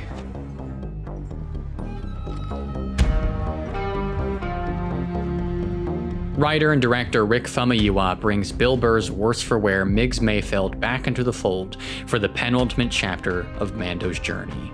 A soldier turned gunfighter whose days of riding horses and robbing banks are pretty much over. Next to the high likes of Boba Fett, Fennec Shand, and The Mandalorian, he is effectively a nobody, with no purpose to serve but the advancement of our hero's quest. But therein lies the kind of unique perspective that comes with Mayfeld's lowly disposition. As someone whose life was ruled by order before losing it all, in Mayfeld's eyes, Mando is merely one fall away from the exact same spot. He's been to the other side of Mando's fears, scarred by chaos, but enlightened in a way Mando yet has not. He took his armor off long ago and relinquished his insecurities. And with the optics that accompany that comes the kind of insight Mando is hesitant to hear. I'm just saying, somewhere someone in this galaxy is ruling and others are being ruled. I mean, look at your race. Do you really think all those people that died in wars fought by Mandalorians actually had a choice? So how are they any different than the Empire? Look, I'm just saying. We're all the same.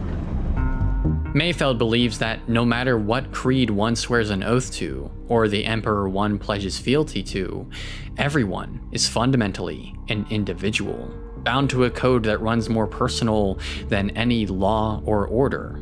It's a dose of reality Mando isn't quite ready to accept, even if his definition of Mandalorian has been stretched dizzyingly far.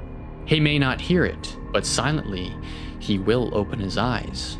Looking on at the survivors of tragedy on Morak, the survivor that is Mayfeld, and the image that literally reflects back on him in the same armor, the security, the feeling of invulnerability that Order can bring, is rather false.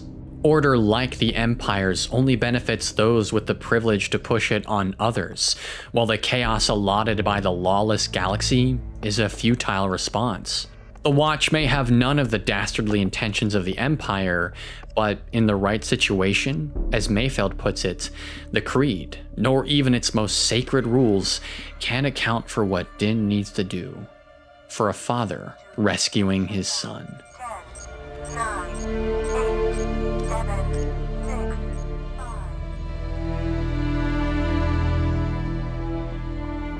But as they have since the beginning, the Empire won't let Mando slip before offering one last devil's advocate, delivered in a bone chilling performance by Richard Brake.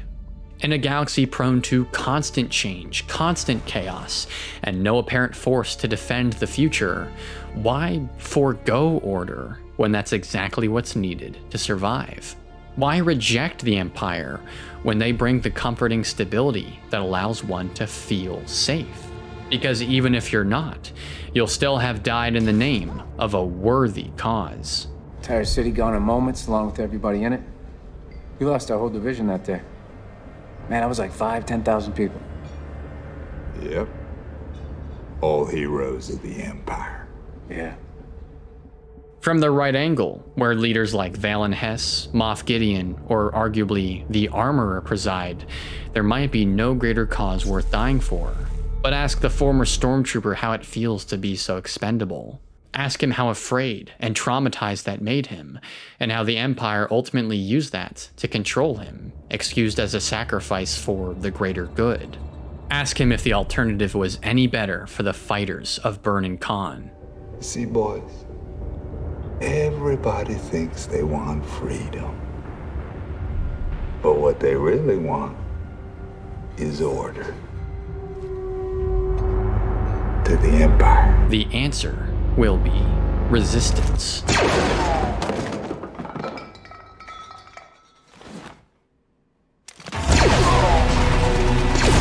If the cowboy is going out, then it's going out guns blazing. Mayfeld draws a line of his own against evil in the mud of Morak.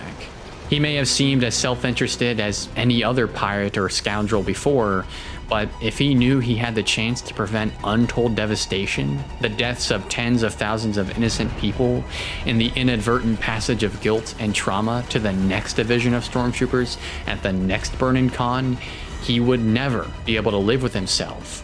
Eventually, there has to come a time when the outlaw stops running and takes a stand instead.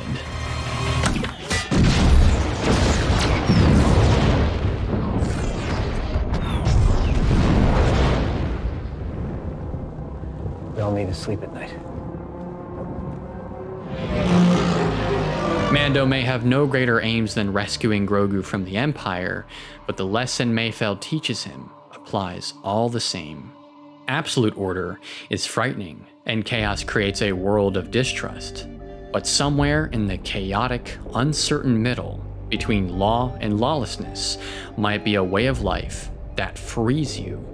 A code in touch with the past, yet malleable to the future, driven by compassion and honor, and altogether balanced.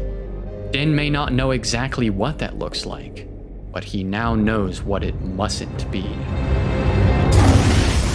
Enough, both of you. No matter how set in their beliefs Bo Katan, Boba Fett's, and Din Djarin have been, the time of civil unrest between Mandalorians must come to an end.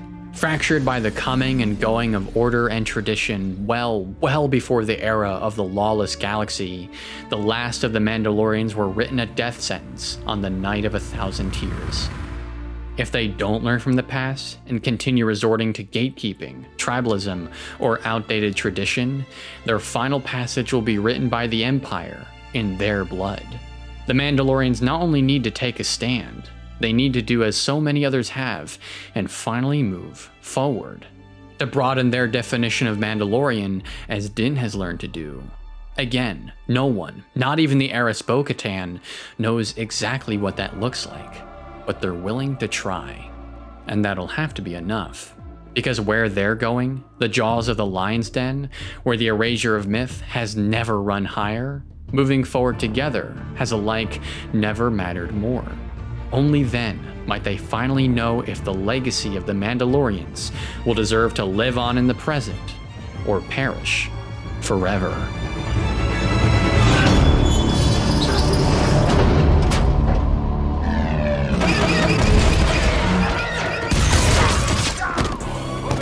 The Fellowship's rescue mission begins as a one-way trip, paving the way for the Lone Wolf, represented once more by the bass recorder, to find his missing cub. As he did in the icy caves of Maldo Kreis, director Peyton Reed slowly but surely crushes our heroes into a corner, by way of the most terrifying robots you've seen since Wallace and Gromit. Göransson's music becomes violent and mechanical. It's the exact opposite of John Williams' orchestral melodies, the inelegant sound of modernization, pounding away with unhindered force and repetition until nothing remains of the past. For Mando, it's a losing battle against his cracked reflection, armored and soulless. The thing that's stronger than him and shows no restraint. His traditional hunter tools do next to nothing, and ingenuity alone only gets him so far.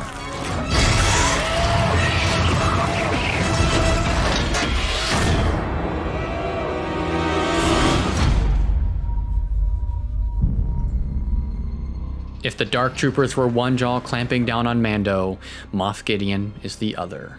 What he may lack in brawn or fighting strength, he has, as he's always had, an edge in manipulation.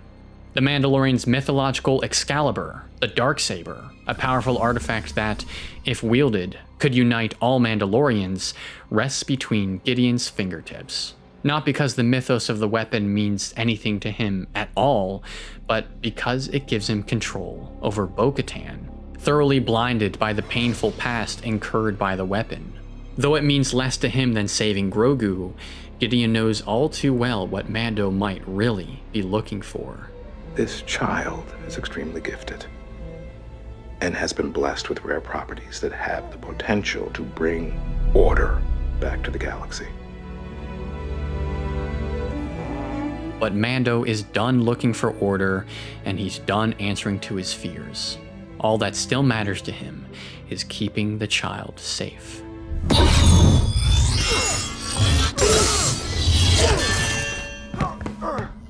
And he'll draw a fierce line in the sand before anyone says otherwise.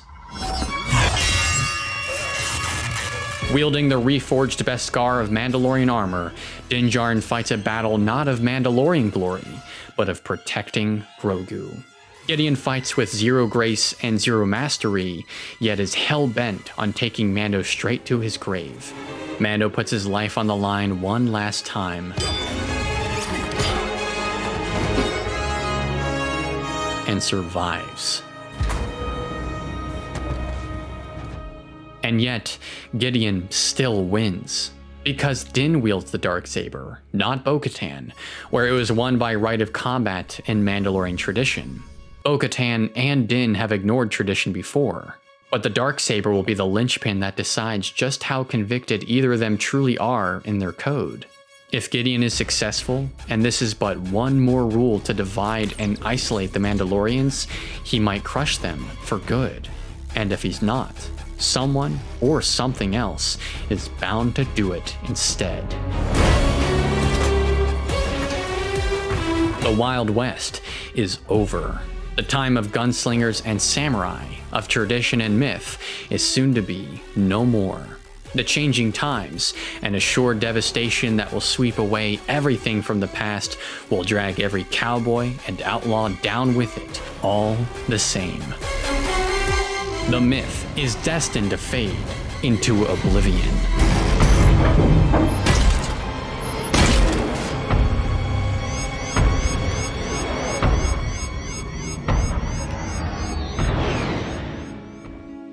Or maybe it's destined for something else entirely.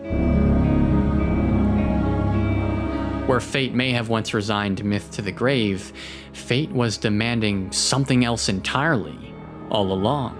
A myth powerful enough to strike fear into those who would dare erase it. A legend. A Jedi.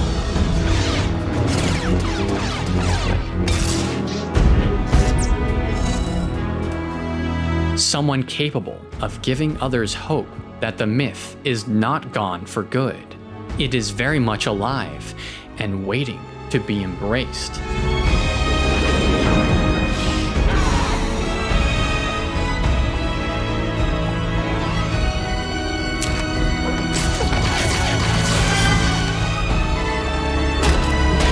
The myth will be faced with hardship, with change, neglect, and even erasure. Not every part of it will outlast that hardship. But like the balance Mando has learned to cultivate, the myth can evolve.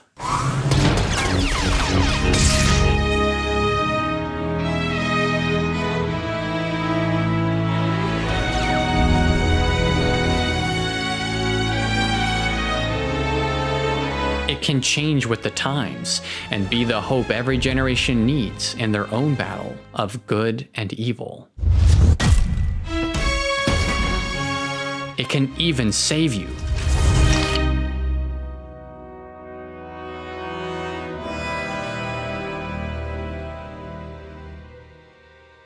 All you have to do is open the door.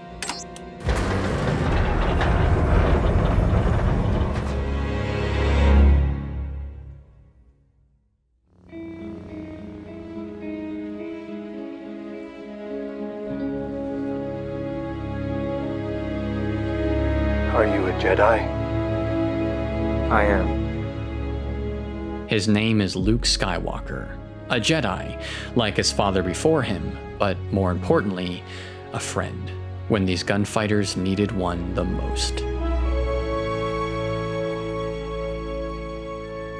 This is it. This is what the Mandalorian was quested to find. A journey brokered by fate to the edge of oblivion prophesized in Mandalorian ballad. But for Din, it can no longer be as glamorous as that. Fate took everything from him his stability, his belongings, his very way of life, and gave him so, so much more. His friends, a newfound perspective, and his son, Grogu, the child who turned his life upside down. The little green raisin that taught him to stop running from the past, to look beyond himself, and to grow. The creature that taught him how to be human.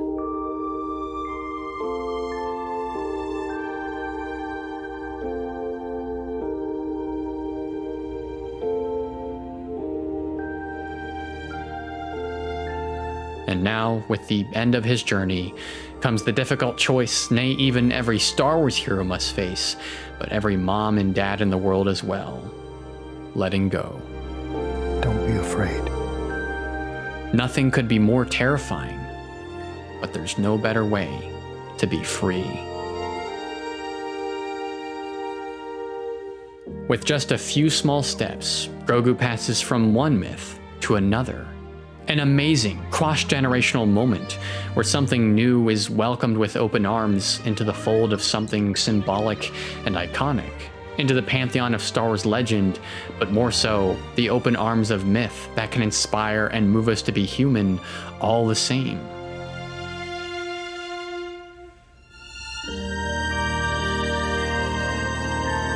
May the Force be with you. The future of myth hangs in the balance and will be determined by those called upon by fate to lead others onward. That future might remain uncertain as ever, but in the here and now, there is a certainty and a beauty to the legend of the Mandalorian who learned to take his armor off. A gunslinger's odyssey, or no matter how cold, guarded, selfish, and heartless anyone can be, the journey to become compassionate, open minded, self sacrificing, and vulnerable lies ahead of us all. All we have to do is take the journey. This is the way. After 10, 15 hours of sheer bliss, you're rewarded with a baby. but bullshit, it's not a baby. It's a little old man dipped in 40 weight. Don't you see? It's like Gandhi and Churchill had a child. You know what I'm saying? When they handed him to me, we made contact. Father, son, son, father. He looked me right in the eye and pissed all over me. And I realize I'm a father now.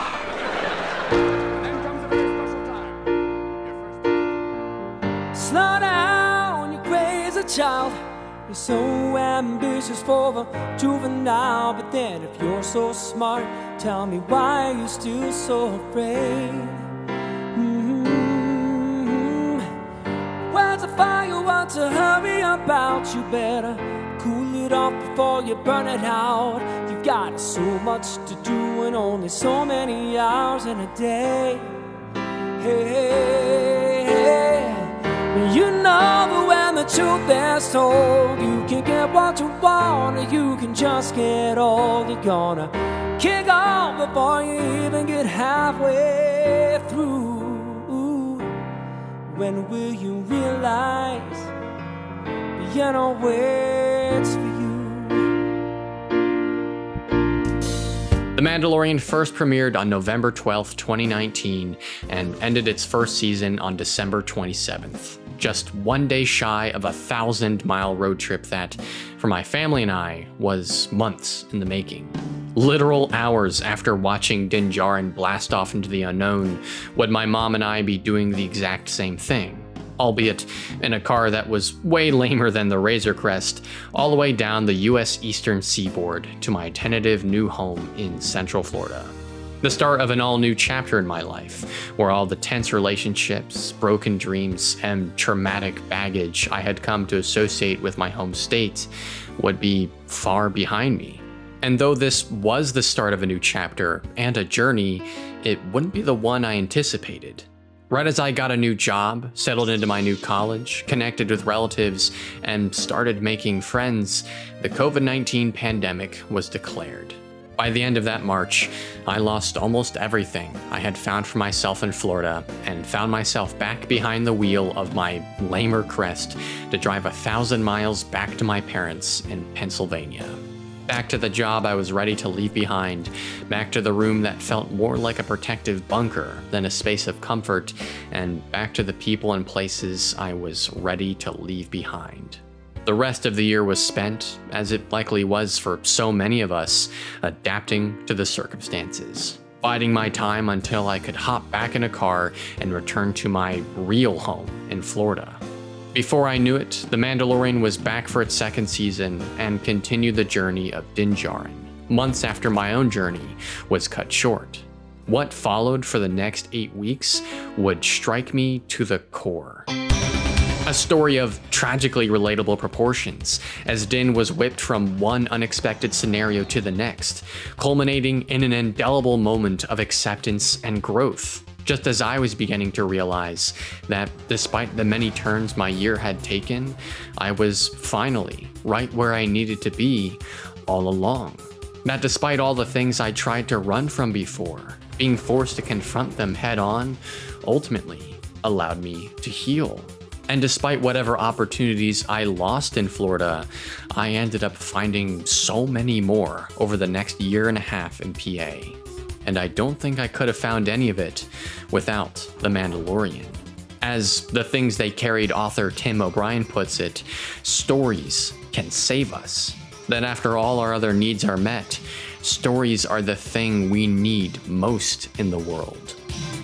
It's fascinating and perhaps a bit silly that Star Wars, a franchise first and foremost for children, manages to be that story for me time and time again, but it's also not by mistake. When George Lucas finished his fourth draft of Star Wars in 1976, he wanted to tell a story that applied the timeless ideas of Joseph Campbell's monomyth to a distant but relatable space opera setting where childhood fantasy and age old mythology bled together in a cross cultural sandbox. He believed, as Campbell believed of cultures all over the world, that we all have a destiny. We can ignore it if we choose, but if we don't and we follow it instead, we'll discover what every generation gets the privilege to discover for themselves a battle between fear and hope, the lifelong choice to be selfish or selfless, and giving something back to the greater whole of the universe. It's a grand adventure, and for most of us, it will be, but not in the way we might expect. Following your destiny isn't always blowing up Death Stars or learning the ways of the Force. Sometimes it's as down to earth as starting a business, building a home, going on a life changing road trip, and especially raising a child. And whether or not a spiritual force is truly guiding us to set that child on the right path, the very journey of doing so is long and winding. One that will teach us lessons and change us in ways we can't possibly anticipate forever. To my mind, that's ultimately what's made The Mandalorian the global phenomenon and one of the biggest TV shows of all time that it is. It is the perpetual mystery of its lead character, the rule of cool, the familiar and appealing mythology well ingrained into our cultural psyche, and the world stopping cuteness of Baby Yoda. But most of all, it's the unmistakable humanity that emerges in every single adventure, even if nary a human face can be spotted. It's when you have to drop your kid off at daycare, when you're working two jobs and barely making enough to get by, when the group project is going worse than you could even imagine, or when your car gets broken into, breaks down, or pretty much any car trouble you could possibly ever have. And of course, it's when your kid goes off to college and embarks on the journey to adulthood that you took all over again. Because even if I've never been a parent, guardian, or all that much of a mentor in my young life, I do know what it's like to be so roughed up by the world that I closed my mind and my heart so that nothing could hurt me ever again. But when the day finally came where I had the courage to let go of my fear and let go of the coldness inside me, the beautiful privilege to feel again was magic unto itself.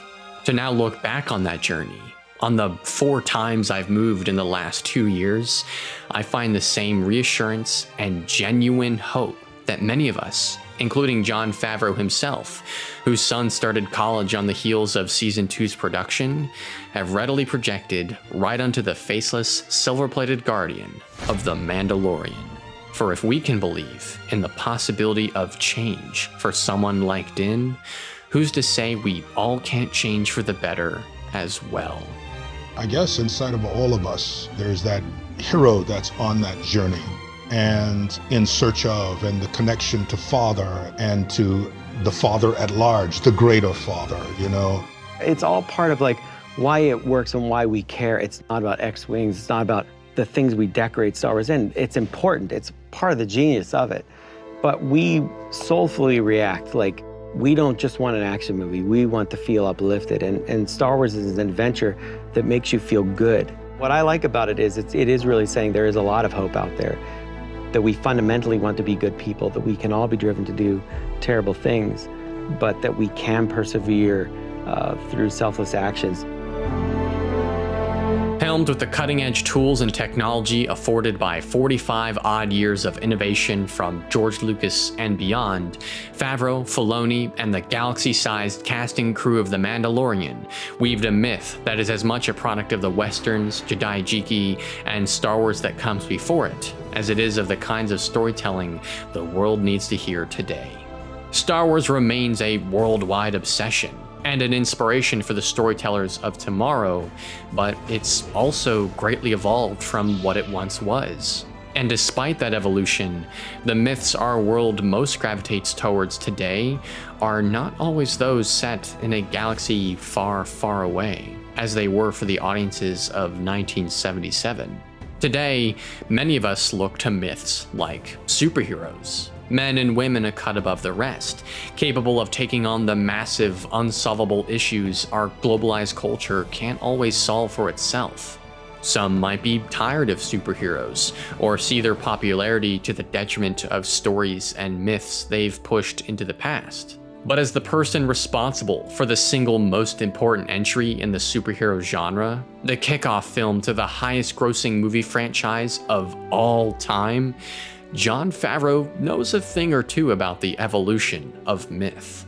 The myth is designed for the kids that are coming of age. We enjoy the stories as adults, but really, storytelling is about imparting the wisdom of the previous generations onto the children who are becoming adults and, and giving them a context for how to behave and, and how to learn the lessons of the past without, without making mistakes on their own. I mean, that's the hope, is that you could teach them how to avoid all the hardship but yet get, garner all the wisdom. Though the past will always be set in stone, the story of the human race in the present and the future is always in motion. And for every generation inspired to peer into the myths of the past comes the opportunity to evaluate what can be learned as much as what should be left behind. The Western was a great American genre, the superhero flick of its days, as much as they are the Western of today. But many westerns also romanticized the emotionally damaged loner, glorified racism against Native Americans, featured only men in leadership roles, and cemented the gun as an immovable symbol of patriotic freedom. All ideas that leave an unmissable shadow on American culture today. Of course, what should and shouldn't outlast the past is something us stupid little humans might never agree on, but if there is any constant I dare say we should, it's the very inevitability of change. The change Din Djarin experiences in his own life, in his own time. That change is scary, and not always good. But for Din, resisting the change and believing he had every answer to the universe right from the start might have been worse for him than the change that was bad. As we all set off on our own hero's journey, where who we are and what we return with will be more than what we leave behind us, finding the courage to face change head on, and if need be, to adapt with it, is as important for us as it was for the riders of the dwindling open stage, the last of the samurai, and the generation that raised you into being. If the popularity of The Mandalorian, let alone Disney's bottom dollar alone, is any indication, Star Wars is bound to be around for a while. And heck, The Mandalorian story isn't even over yet. While Favreau and Filoni continue to explore a galaxy sandwiched between two trilogies over 30 years apart, the team of filmmakers they've disseminated across Lucasfilm, from Deborah Chow to Taika Waititi, are poised to shape the Star Wars mythology in ways we might not be able to imagine yet. It is certainly an exciting time to be a Star Wars fan, and I can't wait to talk with you all about it again.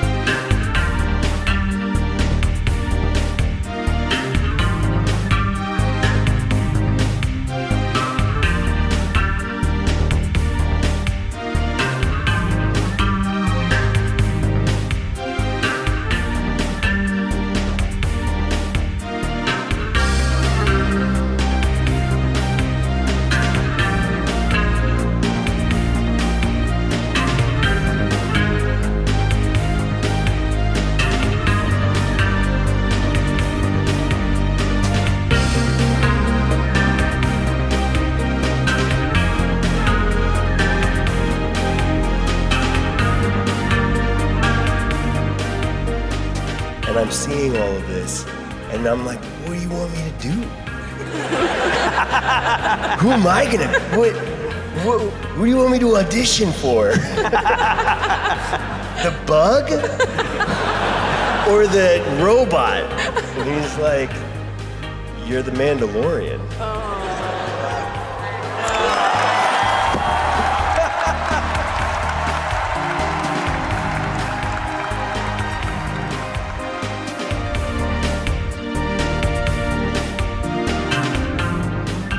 You're staring at just a blue screen. So tell us about working together and just using your imagination. Well, you need a little bit of that, yes, because we're not actually in a real ship. You only got something. Actually, you didn't even have a handle, I don't think, right? There we are. All that came in later, but anyway, you got to sort of go like this.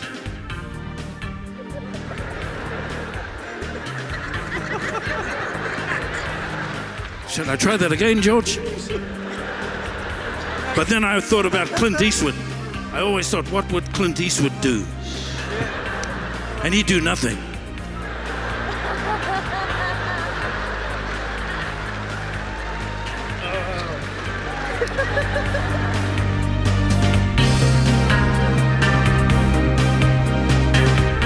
What a revelation when they realized that the Mandalorians were all New Yorkers.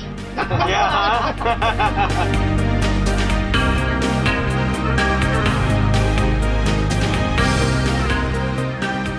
Hello, everyone. Uh, welcome to the end of what has been a very long video, uh, the length of which I hope to never surpass with another video, knock on wood. Uh, your reward is this secret video message, I guess. Um, what can I say, guys? Thank you. Thank you a hundred times over for uh, supporting this video, for watching it all the way through to the end. Uh, it, it really does mean a lot uh, to to you know have something to say and then have an audience who wants to hear what you have to say. It's not something I take for granted at all. Um, this video was four months in the making. Took me over 300 hours to do. There were ups and downs the whole way through. There were points where I didn't know if the video would uh, quite come together in certain areas or if I'd have to compromise in some significant way, but where we've landed by the end is something I'm very proud of, and my sincerest hope is that uh, you know you've had a good time with this video and you connected with it in some way. Whether you're someone who's watched me for the tenth time or this is your first time watching me, um, that you've had a two hours well spent. Uh, that being said, uh, you probably saw it on the screen a minute or two ago, but uh, we are now on Patreon, uh, which is very exciting. Uh, something I've wanted to do for a while now. Uh, I just didn't want to do it until it was the right time, but it is now, I think. Uh, you can go in the description below and find the link, or you can go to patreon.com forward slash ArTorr Presents, and uh, there are three different tiers with different rewards associated with them. Uh, one thing I can tell you, one highlight of the Patreon that I'm looking forward to recording over the next few weeks are a series of behind the scenes commentaries for all of my previous videos. Uh, that includes the Clone Wars videos, that includes the Last of Us video, that includes this video, and that'll include any videos I do in the future. There'll be behind the scenes commentary for, I believe, the middle tier. I know behind the scenes commentary for a, a YouTube video doesn't sound like the most exciting thing in the world, uh, which I would probably agree with that, but uh, you know, as I said before, these videos take many months to make, and uh, with this video especially, uh, there are a few stories to tell that I would love to share with you all over on Patreon. So consider supporting me there. Uh, any donations I receive will go towards uh, some more far off projects, but most chiefly, any support I receive on Patreon will go towards the next video, which of course is on Mass Effect 3. I've kept you guys waiting long enough for that video, and I apologize. This video had to come first, and uh, what I'll tell you is this, actually. Um, before I even wrote the script for this video, I actually wrote the script for the Mass Effect 3 video. Um, I'm going to revisit it sometime in the next two weeks, and probably end up changing some things here and there. You know, that it happens when you haven't touched something in a while. You revisit it later on, you go, hmm, you know, I might edit that or edit that. Um, but what that should hopefully mean is that uh, the the process of putting the video out has been expedited greatly by having a almost ready to go script. Uh, that that really that literally cuts the process of putting it out in half. Uh, so instead of having to wait three or four months like the wait for this video was, it will be one or two months. So that's what I'm hoping, and things could always go wrong, but um, yeah. So support that project over on Patreon, and uh, if nothing else, take this video as a demonstration of what you can expect.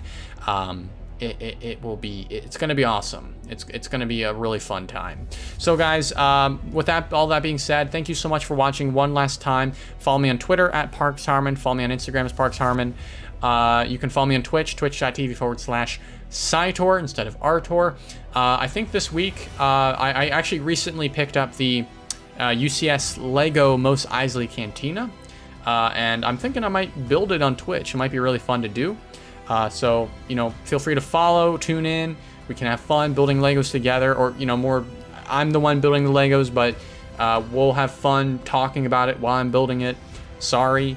Uh, and uh, other than that, thank you to all the content creators um, who had music that I used in this video. Uh, your talents brought something to this project that I could not have done on my own. It really does mean a lot. Uh, and as well, thank you NordVPN for sponsoring this video one last time. Those guys are great. Uh, you can check out that offer in the description below once more. Uh, but yeah, thank you all for watching one last time, and I'll be seeing you all next time. Adios.